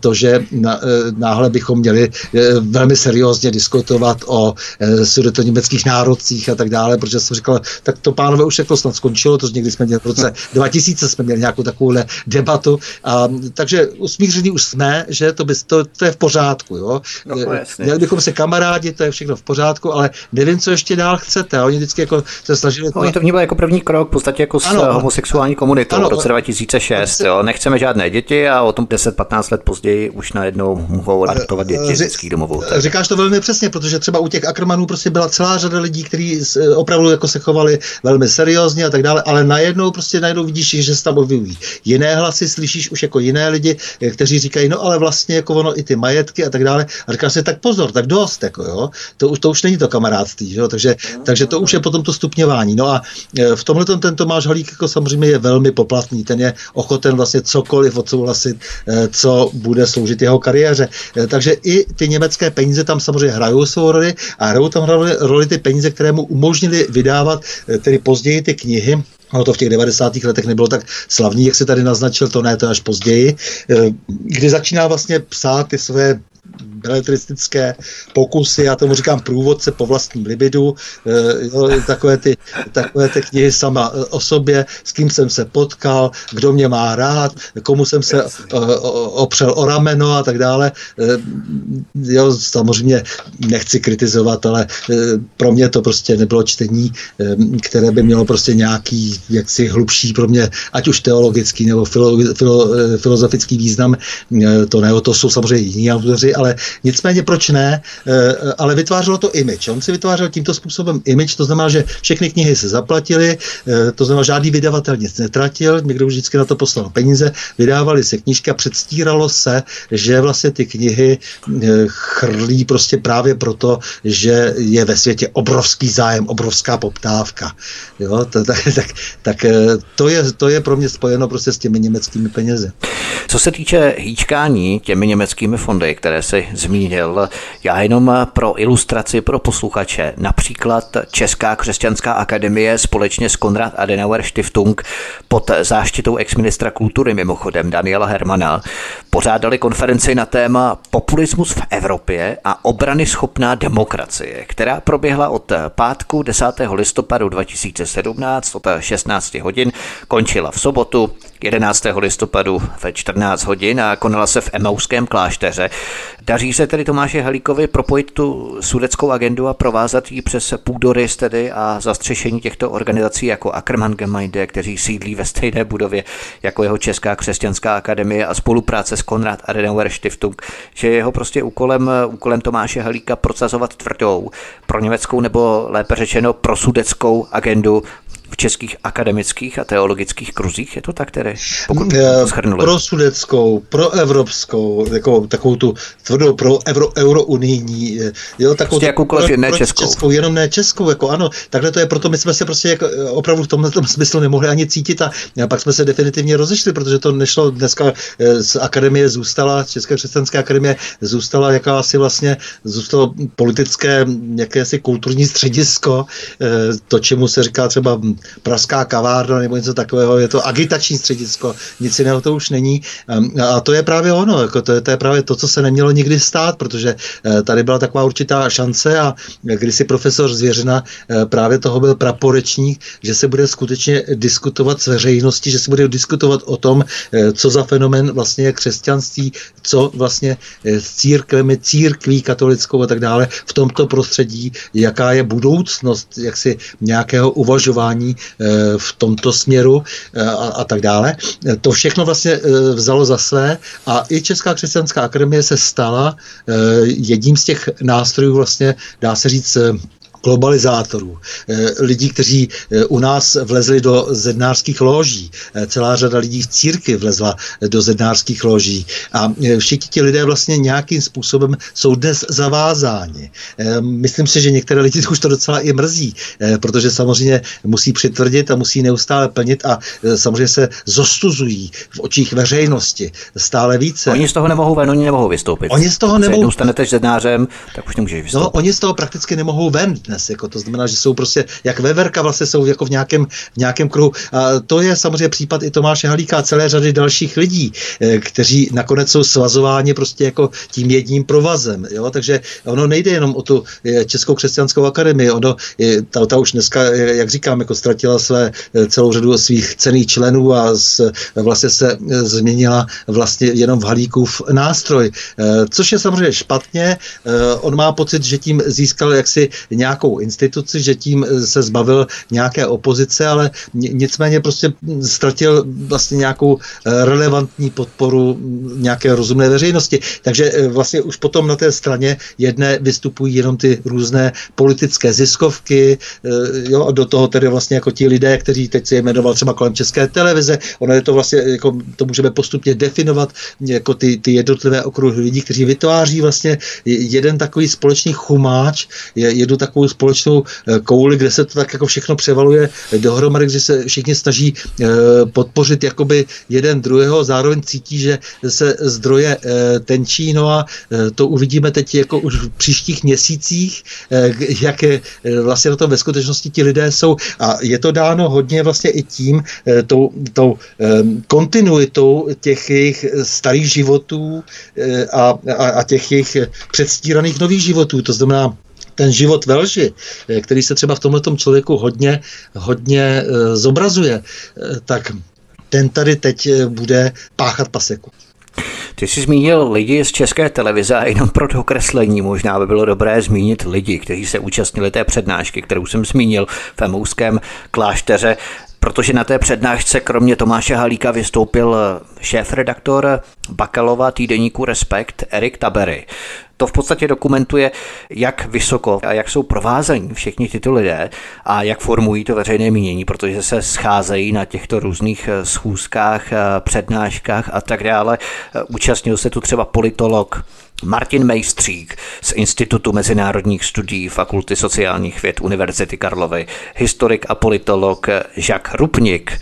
Vystoupil tu rovněž sociolog Jan Hartl, ředitel agentury Stenmark o nacionalismu a náboženství. Tu hovořil Jaroslav Šebek, třeba ze Sociologického ústavu Akademie věd České republiky. To znamená Jiří Drahoš, že tehdy.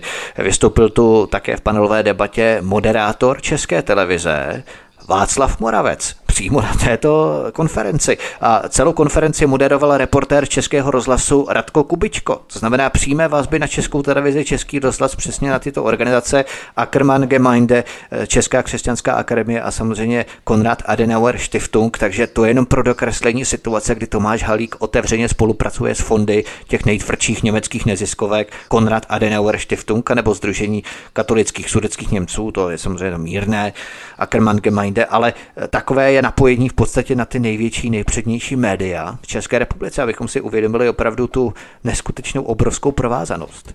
No ne, samozřejmě, že tohle to je prostě mě jako to vhání trošku slzy do očí, protože to je naprosto zničení vlastně jako toho českého kulturního prostředí a je to dáno vlastně tou kontinuitou zase zpátky, prostě pokud nepoznáme minulost, nepochopíme budoucnost. To je hrozně důležité.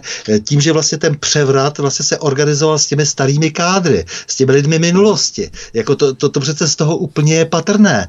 Konec konců, když už, se, když jsme u toho Daniela Hermana eh, nic eh, vezlem, ale Daniel Herman eh, přece víme, jak to bylo prostě, když jako mu první zpráva státní bezpečnosti umožnila, aby vyrazil v polovině 80. let, když byl v semináři v Litoměřicích, vyrazil do Izraele a potom, jak se si popojížděl po západní Evropě, jak se mu zlíbilo, no tak to přece co se znamená, když jeho otec vlastně byl dvojnásobný agent státní bezpečnosti a e, zároveň třeba získali nemovitost po sudeckých Němcích v dobré vodě na Šumavě e, před e, v 50. letech. Takže tyhle ty věci vlastně tady hrajou obrovskou roli. Lidé si neuvědomují tu, tu, tu kontinuitu, ten, ten problém toho, že to nejsme schopni nějakým způsobem rozseknout. Já jsem první, kdo bych jaksi těm lidem odpustil kde co, kdyby prostě hájili alespoň české zájmy. Já tak až se nesnažím dneska, jak, jak si tvrdě soudit podle minulosti, protože celá řada lidí se vyvíjí a vyvíjí se velmi komplikovaným způsobem a e, mnohdy velmi překvapivě a je to dobře e, samozřejmě, ale problém je, že tady se vlastně vytvořilo souručenství lidí, kteří vytváří nějakou kontinuitu z toho normalizačního světa nebo někdy ještě staršího, prostě s tou současností, která představuje prostě službu někomu zase jinému, než, než tehdy a všichni jsou vzájemně propleteni, zkompromitováni a finančně, ekonomicky závislí na těch svých nových pánech. Ty jsi zmínil právě tu kontinuitu s eh, normalizačním režimem, minulým režimem, s tím režimem současné demokracie, takzvané eh, současným režimem systémového ukotvení, které právě máme dnes. A k tomu se chci právě dostat v další etapě, protože chtěl bych se zaměřit na další věc. Jednou zhruba za tři měsíce, nevím, jestli to stále probíhá, jo, ale v minulosti tomu tak bylo, že jednou zhruba za čtvrt roku se pořádaly neveřejné neformální schůzky ve zbraslavské rodinné vile Vladimíra Dlouhého a jeho druhé ženy Elišky Břízové. A těchto schůzek se účastnili vedle Karla Janečka například další lidé, jako například Alexandr Vondra, to jsme zmínili National Endowment for Democracy, net, od kterého vlastně dostal medaily v roce 1998 Alexandr Vondra, Jefin Fištejn, například Milan Knížák, Karel Steigerwald, Jan Mládek, Jan Hřebejk, Cyril Héšel, Stanislav Bernard, Dalibor Balšínek, Václav a Eva Hudečkovi, Radek Pokorný od Bohuslava Sobotky, Tomáš Šabatka, Pavel Pavko, Eva Salcmanová, Václav Cílek, Leo Pavlát, Zdeněk Tůma, prostě ti nejprovařenější lidé, Česká národní banka že a tak dále, Martin Stropnický, bývalý ministr obrany, a nebo právě Tomáš Halík se tady také účastní. V podstatě tady nacházíme mnoho exponovaných osob z klubu Lípa, Zdeňka Bakaly, což už je lehce, řekněme, anachronistická záležitost, ten kuplípa, ale zajímá mě to napojení na jednoho z představitelů prognostického ústavu Vladimíra Dlouhého. Bez jehož pozvání by se Tomáš Halík eh, těch neformálních schůzek v jeho zbraslavské vile účastnit nemohl.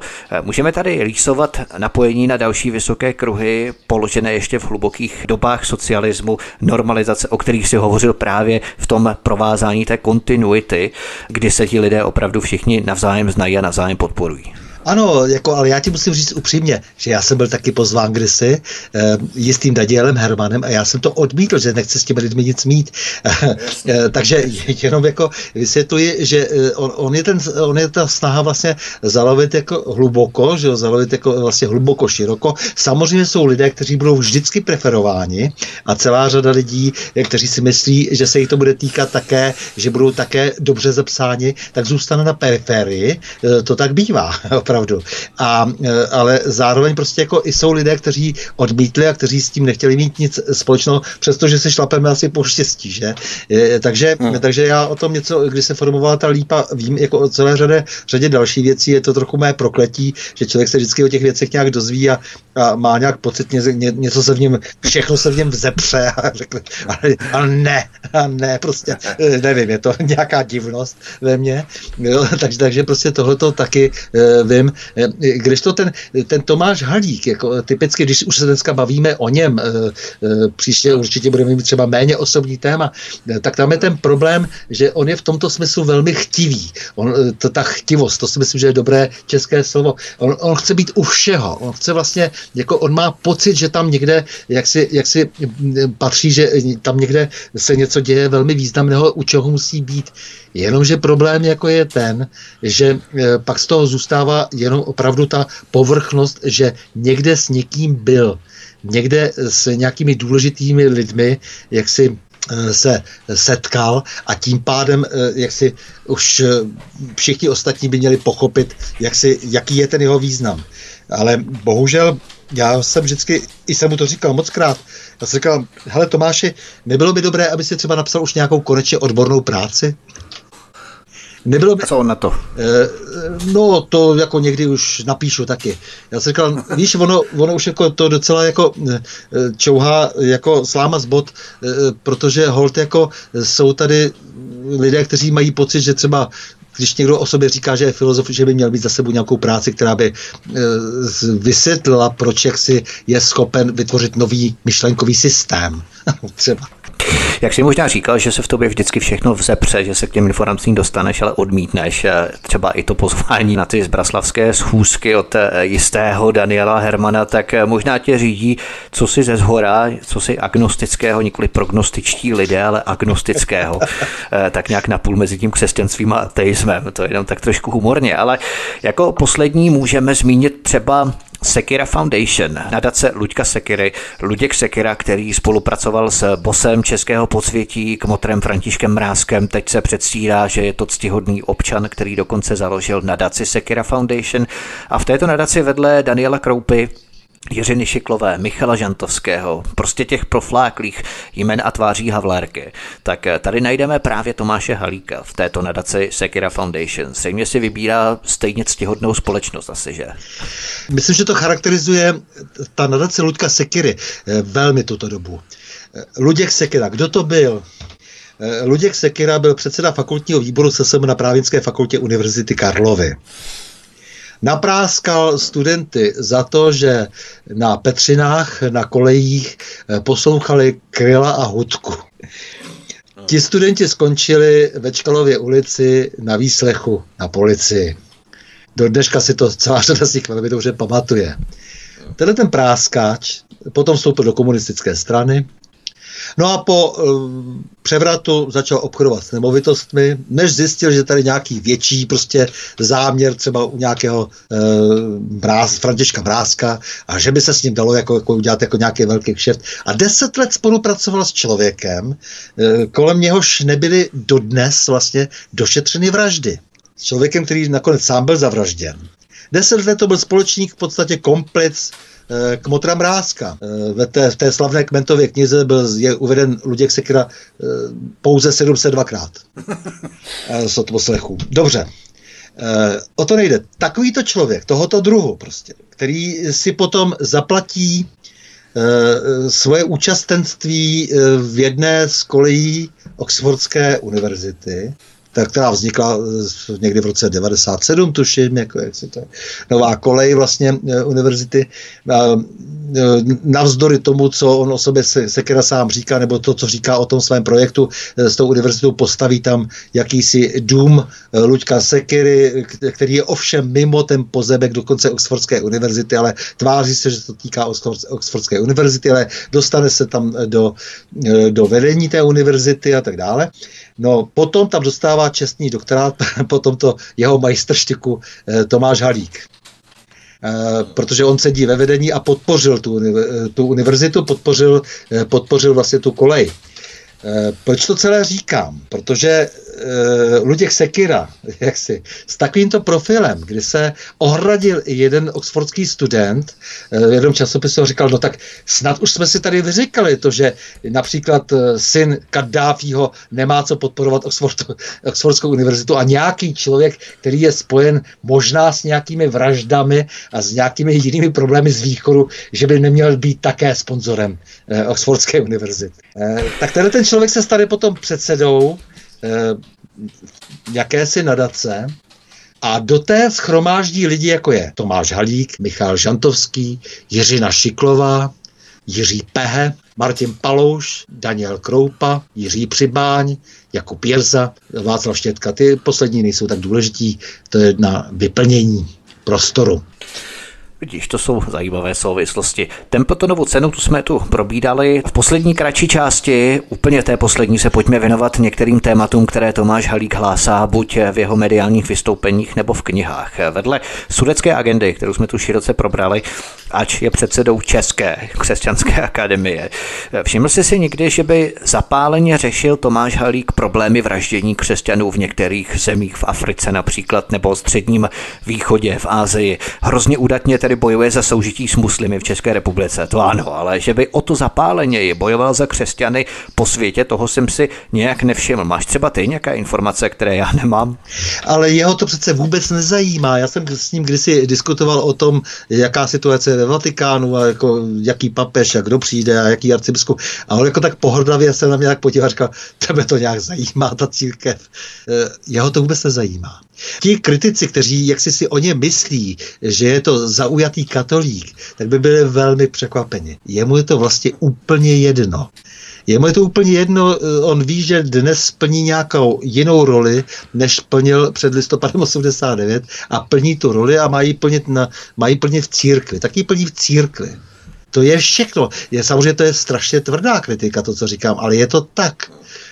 Protože eh, když eh, jsem schopen vlastně o sobě mluvit jako o filozofovi a nemám za sebou jedinou práci, jedinou filozofickou práci. Součástí e, té naší euroamerické kultury bývá, že když e, jak si e, někdo chce být filozofem, tak by měl alespoň v písemné podobě dát ano. najevo, že prostě pochopil nějak, nebo vytvořil nový systém myšlení.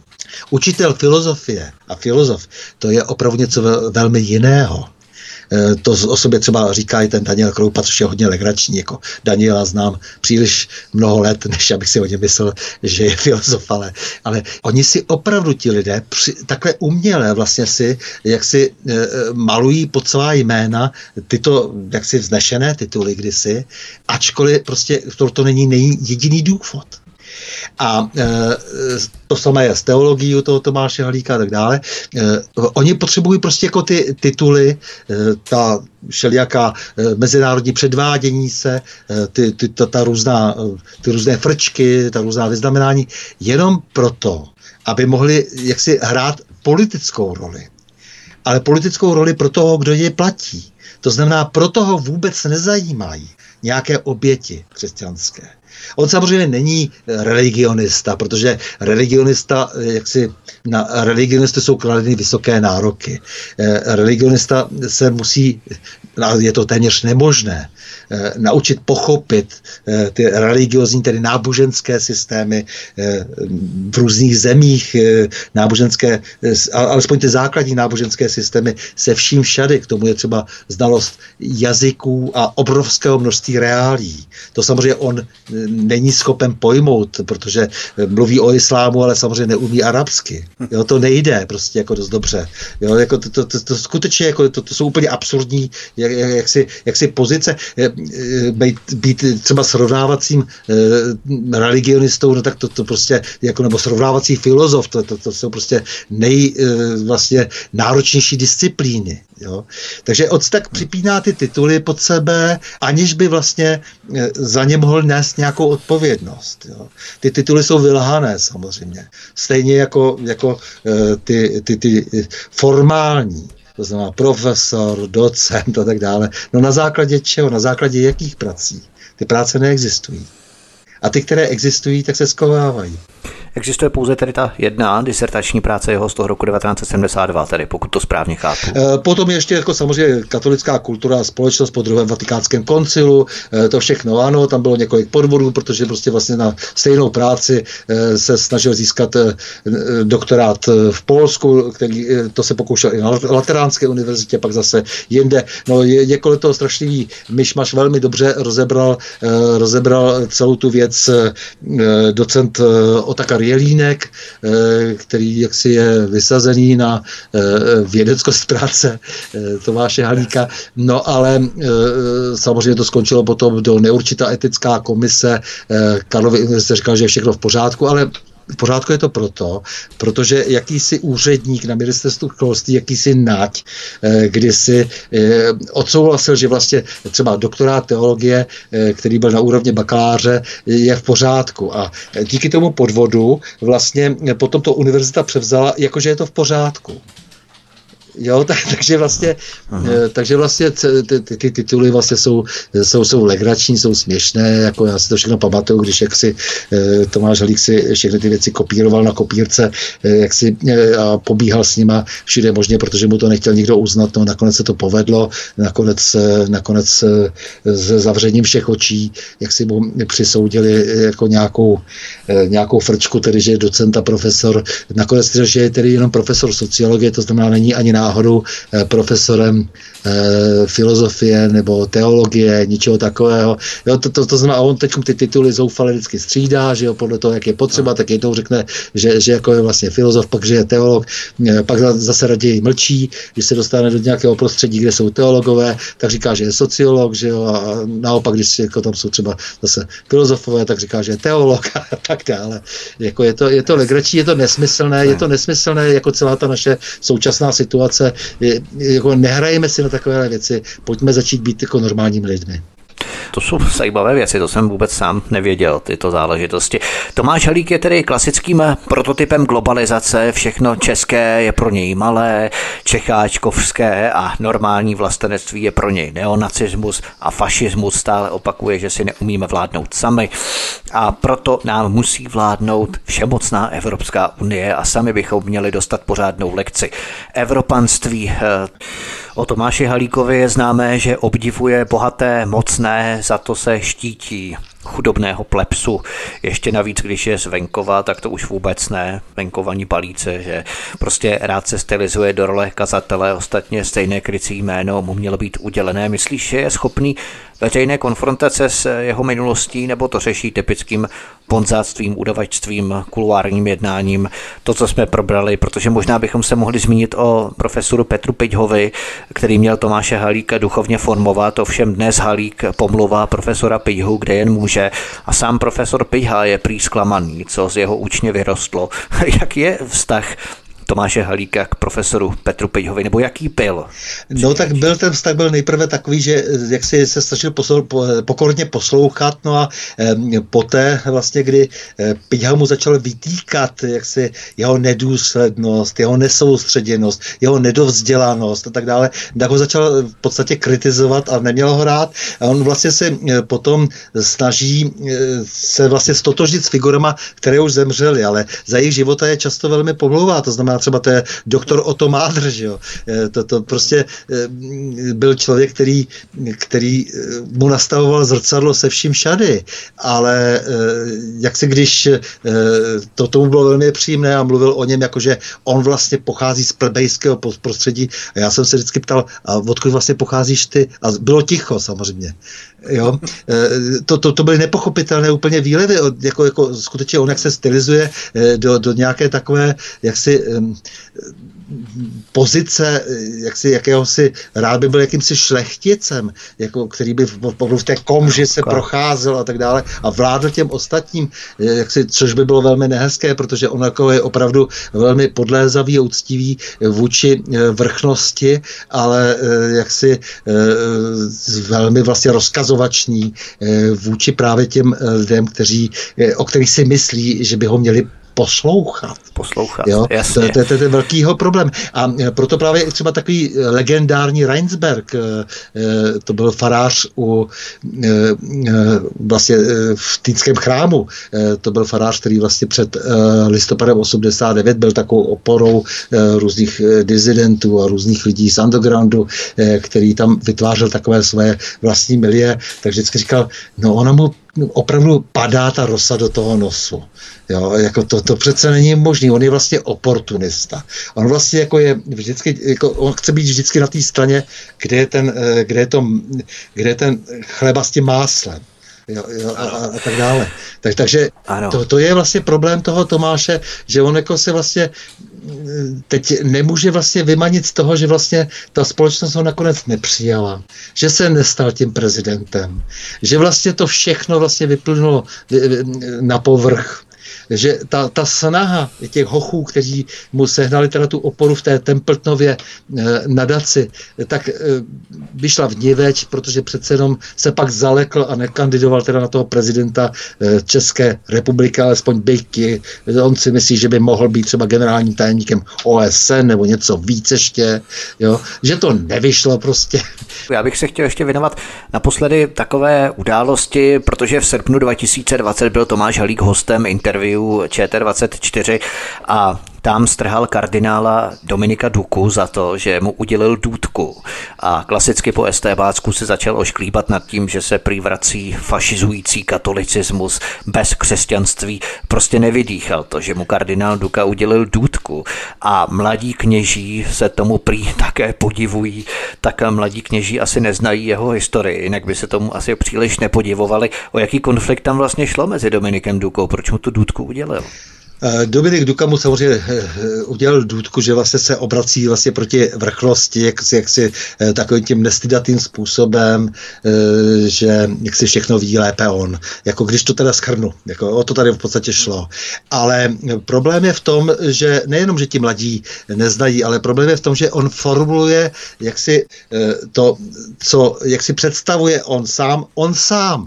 On sám sebe neustále obhajuje a formuluje prostě v těch médiích. Rozumíš, to není tak, jestli nějaký mladý kněží nebo ti, či oni, eh, to, to jsou vlastně jeho vlastní výmysly. On, on sám vytváří svůj vlastní image. On sám o sobě řekne, že je filozof. Není. On sám o sobě, řekne, že je teolog, nemá jedinou teologickou práci. Jako, to se nedá jak se respektovat. Jo? On sám řekne, že nějací mladí kněží On sám řekne, že jenom nějací lidé ho pomlouvají a ty, ty, že se dají spočítat na prstech jedné ruky. Není to tak. Jo, jo tak, takže, takže to vytváření, jako ta, ta, ta, ta, ta self-promotion, že jo, to vytváření vlastně té vlastní yeah. image, jako, jako to, to je vlastně jako to jeho a intenzivní a neustále, pořád dokola. E, to je vlastně to jeho, e, ta, ta jeho zbraň. No. A Dominik Duka samozřejmě udělal důdku po právu, e, nicméně Dominik Duka dál nic neudělal. Tady je třeba zase po právu říci, že jestliže Tomáš Halík boří v podstatě už dogmata katolické církve, to znamená, že nevěří ve vzkříšení a, a opravdu velmi tvrdým způsobem si, si zahrává vlastně se všema, se, se všemi těmi New Agerskými proudy, no tak eh, samozřejmě už by dávno se měl věnovat něčemu jinému než farářování eh, v nejsvětějším Salvátoru. A Dominik Duka toto může zařídit škrtem pera. Eh, buď řečeno, že to neudělal do posud a že naopak, ne ti mladí kněží, o kterých mluvil Tomáš Hlík, celá spousta, spousta jiných kněží mu vytýká právě to, že to neudělal. Můžeme tedy prohlásit na úplný závěr, že Tomáš Halík je zdatný rétor, který ale klouže po povrchu, vytváří dojem nebo navozuje představu, že co si tajemného ví, něco, co je ostatním lidem skryté, takovou tu nekonkrétní mlhovinu, jak někteří vytvářejí, například jeho narážky na vliv zednářů. To všechno je prostě koktejl, který Tomáš Halík mistrně míchá, aby vytvořil zdání, že on sám je součástí jakýchsi mocných, kteří hýbou tímto světem. Asi takto bychom mohli úplně na závěr charakterizovat jeho samotného. No určitě, to je tak, jako to je, to je vlastně, ta, ta jeho hra je celá vlastně jako v tomhle takovém pro mě tedy velmi prokouknutelném herectví, ale nicméně celá řada těch mladých lidí, kteří přichází třeba do toho nejsvětějšího Salvátora, eh, tak je to ještě pořád nějak asi omračující. Nicméně eh, dlužno podotknout, že oni často v tom Salvátoru, to jsou ti vysokoškoláci, kteří přichází do těch prvních, druhých ročníků eh, v těch školách a potom zase mizí velmi rychle mizí. Yeah. Takže eh, vlastně ta jeho práce je sice zajímavá, ale nicméně má eh, z hlediska jaksi jeho osobního působení efemerní význam. Eh, protože on jako vlastně jakoby nějakým způsobem ohromí, vlastně dá se říct takovým tím nejbulvárnějším způsobem, jako to znamená, potkal jsem se s tím a tím a my víme, o co tady jde a máme informace a tak dále. Jo, jo, jo, jo. Podívej, jaký mám velký kamarád. A, rozumíš, a já se vždycky ptám, proč k tomu člověku ještě vůbec někdo chodí ke zpovědi. Chápeš to? On těmi informacemi, samozřejmě i těmi informacemi, které, které získává, jak si tímto způsobem, tak samozřejmě nějakým způsobem manipuluje.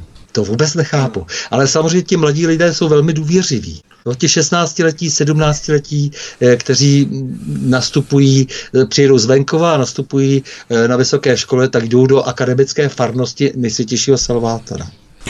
O Tomáši Halíkovi a souvislostech v rámci minulosti kolem Tomáše Halíka jsem si povídal s bývalým policejním prezidentem a předsedou Asociace nezávislých médií Stanislavem Novotným. Stando, já ti moc děkuji za velmi cené informace a budu se těšit u mikrofonu svobodného vysílače někdy příště, až se dohodneme na nějakém dalším tématu. I vy, milí posluchači, napište nám do komentářů v pořadu na kanále YouTube, tak do komentářů zde, co byste třeba chtěli vědět, o čem bychom se mohli bavit, co by vás zajímalo třeba v příštím pořadu. My se tomu budeme samozřejmě věnovat, nebo to navážeme do nějakého většího, širšího kontextu informací, kterým se budeme věnovat příště. Každopádně Stando, moc ti děkuji, měj se hezky, ahoj. Ahoj, rád jsem byl s tebou a rád jsem bez posluchači. Díky.